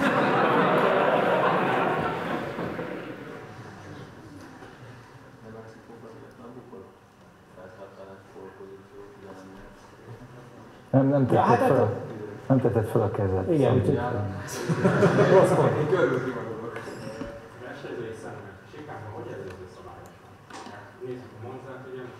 Hát belülről. Vagy kívülről. Fehér vonal között maradnak. Hát figyelj, elméletileg, megint rétázzak, hagyja. Ugye az van, hogy neked, hogyha beléd mennek, helyet kell hagyni. De ez a, ez a pont átcsúsztam, pont nem fértünk, ugye ennek az egésznek a, a kiinduló pontja az, hogy ezek aszfaltozott bukóterek, és ezen át tudsz menni. Mind a ketten tudják, hogy azért meri a belülmenő kitolni a másikat, mert úgyse lesz baja, de ott meg úgyse előzheti meg, mert a szabálytalan, és akkor ő levédte magának az egész szit. Miközben nem korrekt. Tehát, hogy bukó, bukott, bukott, vagy sóderágyban nem egy fal lenne, akkor már föltrancsírozták volna magukat. Miközben nyilván az nem lehet ott, mert akkor előbb-utóbb elzárnak a pályát, mint Makaóban bizonyos szituációkban, vagy Monakóban. Mondtam el, hogy mindketten megyünk, tehát volt olyan szitu idén, vagy akár Szaudarábiában, ami lehet, hogy úgy jött fel a Verstappen, hogyha megyünk mindketten, megyünk mindketten, akkor maradok pont előre. Tehát, hogy ezeket nagyon nehéz szabályalkotóként úgy megfognod, hogy ne büntesd agyon azt, aki ezzel próbálkozik, mert ne vedd el az érét annak, hogy próbáljon kemény lenni, de hogy korrekt is maradjon. És ebben ez a legnehezebb, hogy mindenkinek más a korrekt. Tehát még vele is valószínűleg, hogyha 100 esetet megvizsgálunk, 90-ben egyetértünk, 10-ben nem. Ha kis itt lenne, akkor megint lenne egy másik halmaz. És hogy, hogy mindenki más gondol olyan, olyan támadásnak, ami már nem fair, ami nem fér bele, mindenki máshogy érzi azt, ami még, még nálam is elmennek, végig is megcsinálta, oké, okay. és ezekben soha nem lesz közös nevező. Tehát ezért kellenek a felügyelők, akiknek ezt sajnos meg kell nézni, és a rutinból, meg tapasztalatból, aki ott volt versenyző, azt kell mondja, hogy hát figyelj, ez szerintem szándékos volt, és büntessük meg. És onnan már mindegy, hogy mit mond a versenyző, ha úgy érzik a felügyelők, tehát már a látszatra is ügyelned kell, és akkor innen megint akkor Hamilton van előnyben jobb a látszat, amit kelteni akar, Verstappen mindig megmondja, hogy mi van. Nekem, nekem az a megérzésem, hogy ezen a, vagy az a vélemény, hogy ezen a futamon a döntések többsége jó döntés volt. Hm? Alapvetően, a, ami miatt erről beszélünk, hogy szezonban volt néhány olyan eset, ahol hasonló szituációkat nem büntettek. És ugye ez, ez a, az alapvető probléma. Tehát én például erős beszéltünk, én nem látok minőségi különbséget a braziliai eset, meg a mostani eset között. És akkor felmerül a kérdés, hogy tudom, hogy más felügyelők vannak, meg mindig, mindig lehet találni ilyen kifogásokat, amiket szerintem egyébként meg lehetne oldani, hogy azért beszélünk most ennyit ezekről a helyzetekről, mert nem, nem állandó, vagy nem uh, ha, ugyanúgy uh, kezelik őket. És ilyen szempontból szerintem a probléma a jelenlegi bíráskodással az az, hogy korábban a bíráskodás nem minden esetben volt ilyen. És ez, ez okoz egy iszonyatosan nagy katyvaszt, ami a probléma. Mert hogyha Brazíliát büntették volna, most, most hidd el, hogy nem beszélnénk ennyit arról, hogy itt miért büntettek, vagy miért, miért nem büntettek bizonyos Sok egyszerűbbet mondok, és lehet, hogy ez már megtörtént. Ha Michael Mázi helyében lennék, és idősebb vagyok, nála lehetnék, akkor én biztos, hogy beszélgetnék egyet Verstappen. Hamiltonnal is beszélgetnék, de most azt érezném, hogy és ez, ez a versenyigazgató, versenyző viszony, és ezt nyilván tudjuk tapasztalatból, nem is Form 1 szinten, de azért túrautós szinten, ez egy, ez egy személyes viszony is. Tehát nehogy azt higgyétek, hogy ez csak abból áll, hogy bemennek a, az eligazításra, meghallgatják, hogy mi van, fölteszi néhány ember a kezét, aztán kivonulnak. Te fölmetsz bármikor a versenyigazgatóhoz, és megkérdezheted arról, hogy mit gondol, bármikor. És én ezt sokszor megtettem a pályafutásom során, adott pályán, amikor úgy éreztem, hogy úgy szeretnék valamiből előnyt kovácsolni, hogy nem tudtam, hogy az elfére vagy sem, vagy csak nem volt egyértelmű egy, egy utasítás, és fölmentem, megkérdeztem, hogy itt, ha ez van és ez van, akkor mi van? És elmondja neked, és le tudsz vele ülni, beszélgetni. Van köztük személyes viszony. Tehát a mázi helyébe informálisan, személyesen, simán leülnék a Verstappen, és elmondanám, figyelj Max, ezért nem voltál büntetve, de ez nem precedens értékű, és most ezt ne kezd el hangoztatni, hogy a múltkor téged ezért nem büntettek. Ha a következőkben ez lesz, ezért meg leszel büntetve. Csak így versenyez, oké? Okay? Nem, nem szorunk bele, legyél kemény, menjetek el a határig, de ha nem hagysz ilyen meg ilyen szituban helyet magad mellett, és már ott van melletted, és a vonalon kívülre sodolodsz, akkor mindig meg leszel büntetve. Oké? Okay?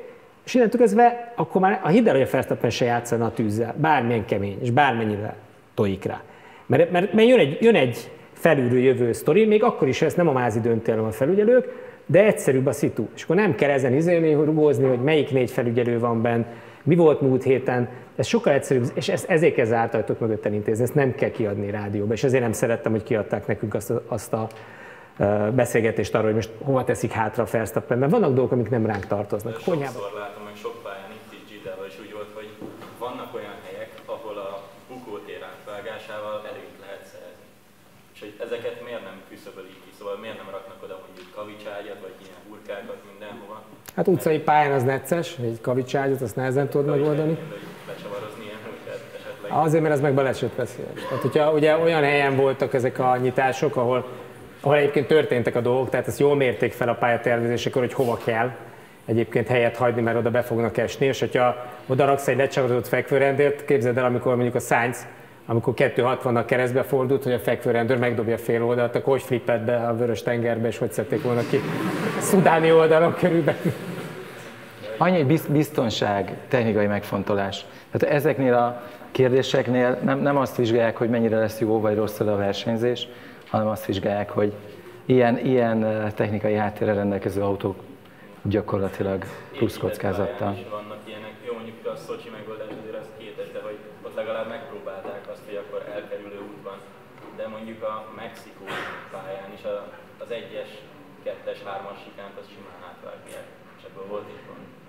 Hát azt, most figyelj, ezeket úgy szabályozzák, hogy a, kirakják a bóját a szélére, és azt kívülről kell megkerülnöd, aki nem, azt megbüntetik. Tehát, a Monzában is ilyen a második sikán. Tehát igen, sok, ugyan, ez egyébként egy jó, korrekt megoldás szerintem. Igen, mert ezt nem tudod máshogy, tehát oda falat raksz, akkor, akkor sokkal több sérülés, netán haláleset lenne, ezt nem vállalhatja be senki 2021-ben. Azért egy valamit nem felejtsetek el, hogy hogy tök jó ilyen tökös videókat nézni a 60-as, 70-es évekből, amikor minden második héten temetésre jártak, de hogy akkor, akkor nem is volt jogi értelemben ilyen veszély. Tehát ma, hogyha ezt hagynák, és ilyen pályát építenének, és valaki megsérülne vagy meghalna, akkor pillanatok alatt a, a bíróságon lenne belőle egy brutális ügy, és lehet, hogy az már konkrétan az F1 vége lenne. Eh, ahogy a Jules Bianchi családja is be akarta perelni az FIA-t, aztán peren kívül megegyeztek, pedig csak a Bianchi tehetett a balesetről, mert nem vette el a sárgazászlós dupla sárga ellenére sem, és lecsúszott a pályáról, és nyilván az, hogy ben volt menteni ez a traktor, az egy óriási tragédia volt, de hogy ahogy megyünk bele egyre inkább az időben, egyre kevésbé lehet olyan dolgokkal játszani, ami jogilag támadható lenne. Tehát amikor meg lehet tenni, megvan rá a technológia, hogy a lehető legbiztonságosabb legyen, hogyha egy lépéssel visszaveszel, az azonnal támadható lesz baleset esetén. Kisasszonyat hátul az még nem volt női kép. Volt már női kép?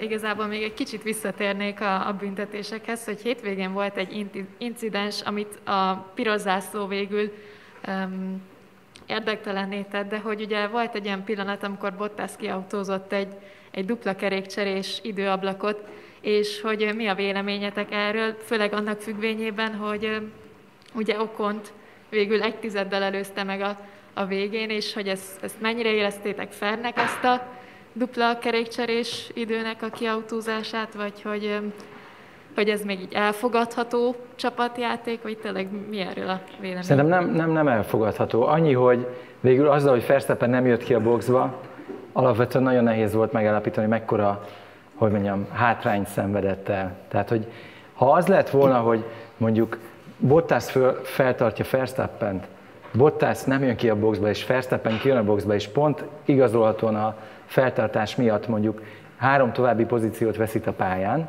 akkor szerintem egyértelműen büntetve lett volna Bottas. Szerintem így is büntetni kellett volna, de végül a helyzetek, meg a, a döntések, azok okafogyottá tettek bármilyen e, ilyen jellegű akciót. Az a baj, hogy a szabálykönyv nem rendelkezik erről egyértelműen, de nem baj, nem tud róla egyértelműen rendelkezni, aztán majd lehet, hogy erre is írnak egy konkrétabb szabályt. Ugye úgy szól, hogy biztonsági autós fázis alatt egy bizonyos tempon nem mehetsz gyorsabban, tehát az le van írva, hogy mi a maximum. De minimumra annyit ír csak a szabály, és ez, minden, ez több pontban benne van VSC, SC egyebek, újraintás előtti játék, hogy nem mehetsz indokolatlanul lassan, nem veszélyeztetheted a mögötted levőt, bla bla bla bla, de ezek gumiszabályok, és ez a sportfelügyelőkre van bízva, hogy mit minősítenek indokolatlan lassúságnak.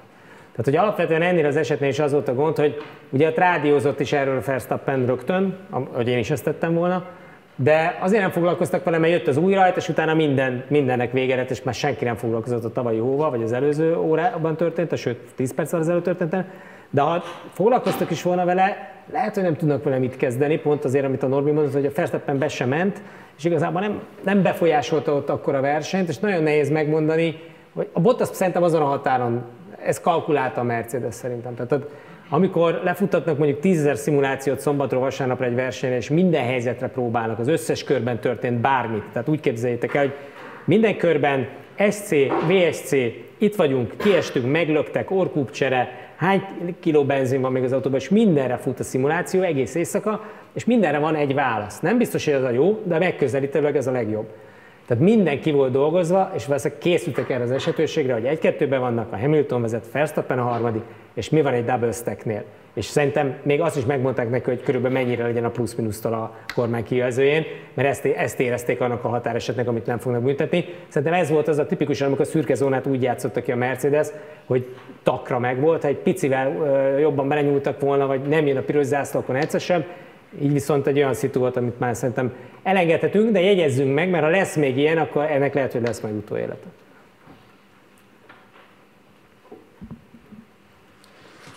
Ja, aha, ne, megy is a mikrofonod. Na, ott lent, kockázban. Köszönöm, én nekem egy bátor kérdésem lenne, hogy szerintetek a Ferrari mikor lesz újra a csúcson?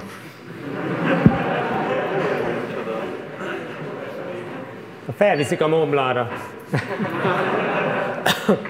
Nem. Jövő, jövőre, jó, jövőre jó esélyük van, hogy visszazárkozzanak, hogy visszább zárkozzanak. Az kétlem, hogy jövőre a Ferrari átugorja a Red Bull meg a Mercedes, de a motorerőben fejlő. Figyelj, két nagyon jó versenyzőjük van. Tehát a Ferrari-nál az a kérdés, hogy mit csinálnak az autóból, mert egy olyan párosításuk van, akit nem biztos, hogy bárkire lecserélnének szívesen, meg én sem nagyon cserélném, mert annak erre, hogy most Verstappen Hamiltonoztunk itt már egy csomót, az egy piszok jó páros, csak egy jó autó kéne alájuk. Ha annyit javul a motor, hogy utolérjék vele őket, vagy valamennyire megközelítsék, és ezt kasznival is, aeróval is meg tudják tenni, akkor szerintem a Leclerc Sainz az abszolút ha nem is VB címre még jövőre egyértelműen, de erős dobogókra, egy-két elcsipett futamgyőzelemre, de az már egy piszok nagy előrelépés lenne. Tehát ez már egy, ez már egy óriás ugrás lenne, hogyha meg tudnának csípni egy-két győzelmet, és nem olyan győzelemre gondolok, mint mondjuk az Okoné, mert az nyilván az tíz, tíz évben egyszer esik le, vagy valakinek egy pályafutás alatt se esik le, de azt is azért meg kellett nyerni, de hogy alapvetően önerőből, tehát a, hogy, hogy ott legyenek közel a tűzhöz, hogyha picit betlizik a Red Bull meg a Mercedes, akkor le tudjanak csapni, és azért attól most messze vannak nagyon még. De nekem az a megérzésem, hogy mondjuk legalább három év, de én azt mondom, hogy három-öt éven belül van rá esélyük, hogy, hogy odaérjenek az elejére. Ez hány darab?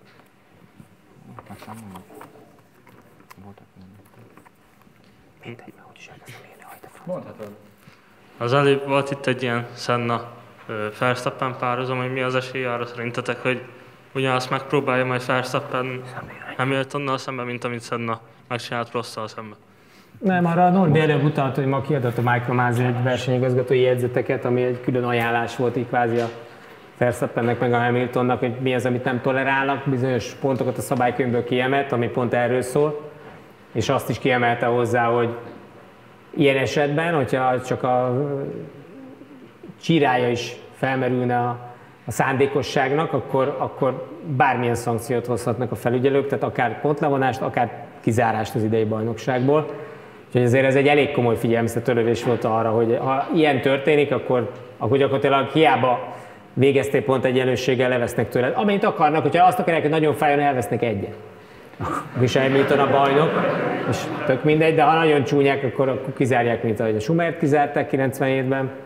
Ne, nekem, nekem van véleményem a, a, a, az esetről, szerintem nem történhet, vagy nem tud olyan történni a pályán, aminek az a következménye, hogy megmernek kockáztatni pontlevonást. Nekem ez lehet, hogy most egyetértetek velem, lehet, hogy nem. Az egyetlen egy célja ennek a kommunikációnak az, hogy jelezzék a versenyzők felé, hogy szigorúak lesznek, de én és tök őszintén én, én nem tudok elképzelni olyan helyzetet, ahol mondjuk nulláznak, fennáll a gyanú, hogy a Verstappen mondjuk neki ment Hamiltonnak, mind a ketten kiesnek, és Verstappentől pontot fognak levonni. Tehát, hogy én ezt valahogy így elképzelhetetlen. Ugye azért tartom. volt könnyebb helyzet 97, mert ott, ott ugye eleve kiesett a Schumacher, és a Villeneuve megnyerte. És akkor utólag a sportszerűtlenség miatt úgy leszúrtak egy karót. Na, ilyet nem lehet, de hát de nem, nem a bajnoki, bajnoki címet vették el, és akkor azzal lehet persze könnyebben, tehát a földön fekvővel könnyebb rugni. De én azt gondolom, hogy ha nagyon durva dolog lenne, akkor megmennék lépni, ebben nem értünk egyet Norbival, de mindenki szerintem abban bízik, hogy ilyen nem fordul elő, vagy, vagy nagyon becsukják a szemüket, hogy éppen ne lássanak semmilyen esetet. Figyelj, ha nagyon egyértelmű a történet, az nem mehet el. De amikor ilyen határeset, akkor igen, nem, azt el fogják engedni, mert, mert csak rosszat tesz a sportág megítélésének, hogyha így döntenek el egy VB címet. A tök egyértelmű szándékos szabálytalanságot nem fogják elengedni, az biztos. És a Verstappen ilyen szempontból van egy, egy pici előnyben, abban igaza van a Norbinak, hogy ő mégis azzal a tudattal megy, hogyha tehát őt kevésbé érdekelheti. Hát ha, ha Hamilton támad, és úgy akadunk össze, hát csak azt nagyon nehéz kitalálnod, hogy hogy akadsz úgy össze, hogy biztosan kiessen a másik is. Utolsó egy-két kérdés, ott van még meg ott a sarokba, jó? Itt is van.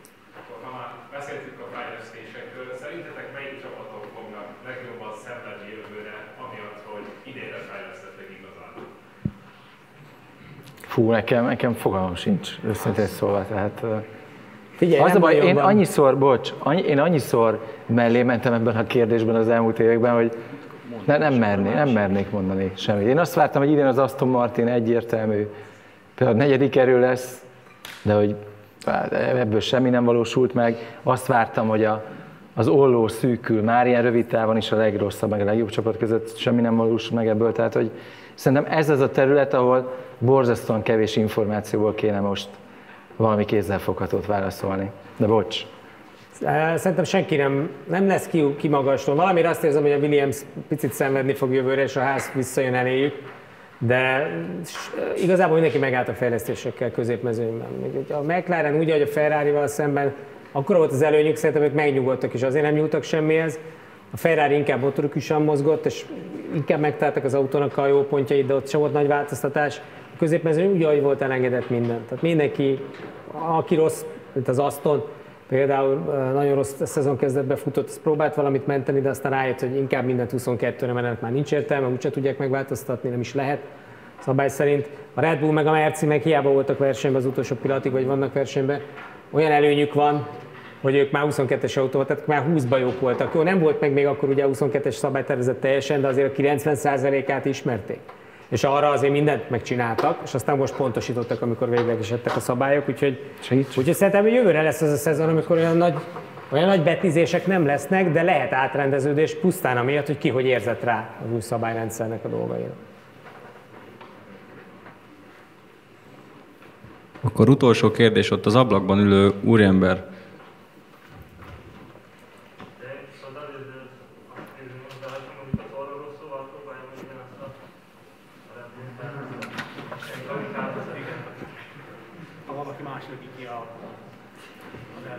Ezt nem, ezt nem hiszem, hogy megtenné bármelyik versenyző. Tehát ez, ennek, ennek, ennek semmi esélye nincs. Tehát, hogyha, figyelj, föltartani persze, ha úgy alakul, akkor kemények lesznek, hogy a Cunoda is kemény volt Törökországban, de mindenki tudja, hogy mivel játszik. Tehát, hogy mondjam, mindenkinek a saját teljesítménye és a saját pályafutással fontos. Gondolj a Nelzinho Pikére, aki belement a falba 2008-ban Szingapurban, Alonso megnyerte a futamot, és amikor kiderült a Pikét gyakorlatilag leírták, mint versenyzőt, mert egy csalónak tartja mindenki, miközben csak azért csinálta, hogy az alonso meg a csapatnak jobb legyen, és mindenki tudja, hogy igazából másért nem teszi tűzbe a kezét. Tehát aki bevállal bármi keménységet, vagy, vagy olyan, do, olyan dolgot, ami szabályok határán táncol, vagy nyíltan szabálytalan, az saját magáért lehet, hogy megteszi, de másért miért tennéd meg? Te, nincs az a csapatfőnök. Tehát a Frán, képzeld el a Franz Tostot, amikor oda megy a Gaslyhoz, hogy figyelj Pierre, mi lenne, ha le, elásod magad örökre. Tehát a pályafutásodnak annyi, ha ez kiderül,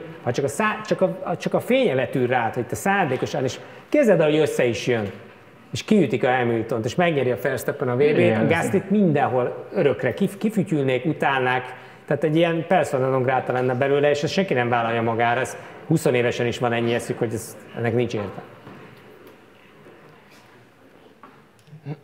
Hát akkor megköszönném a figyelmet, így a 14. hét végeztével. Várjál, Szabi. Vagy van, van még, a, amit mondtál, nem? A hivatali közlemény. De szóval a, a Szabi, Szabi azt mondta, Isten hogy kommunikáljuk, hogy aki végigbírta a mai előadást, az mi az elektromechanika és elektrotechnikából elégségesről indul a, a vizsgálószága. Az van? Van ilyen tárgy? Vagy már eltévesztettem a nevét? De jó mondtad.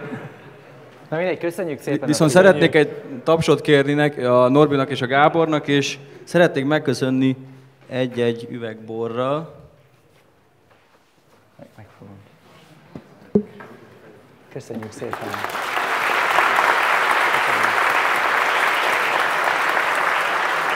Köszönjük szépen. Ez volt a, a szülnaposan.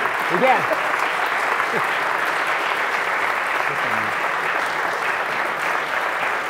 Egy bor.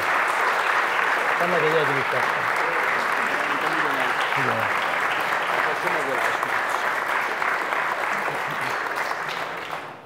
És aki kért könyvet, azt a Gergő mögött álljon valahogy sorba, és akkor majd intézzük.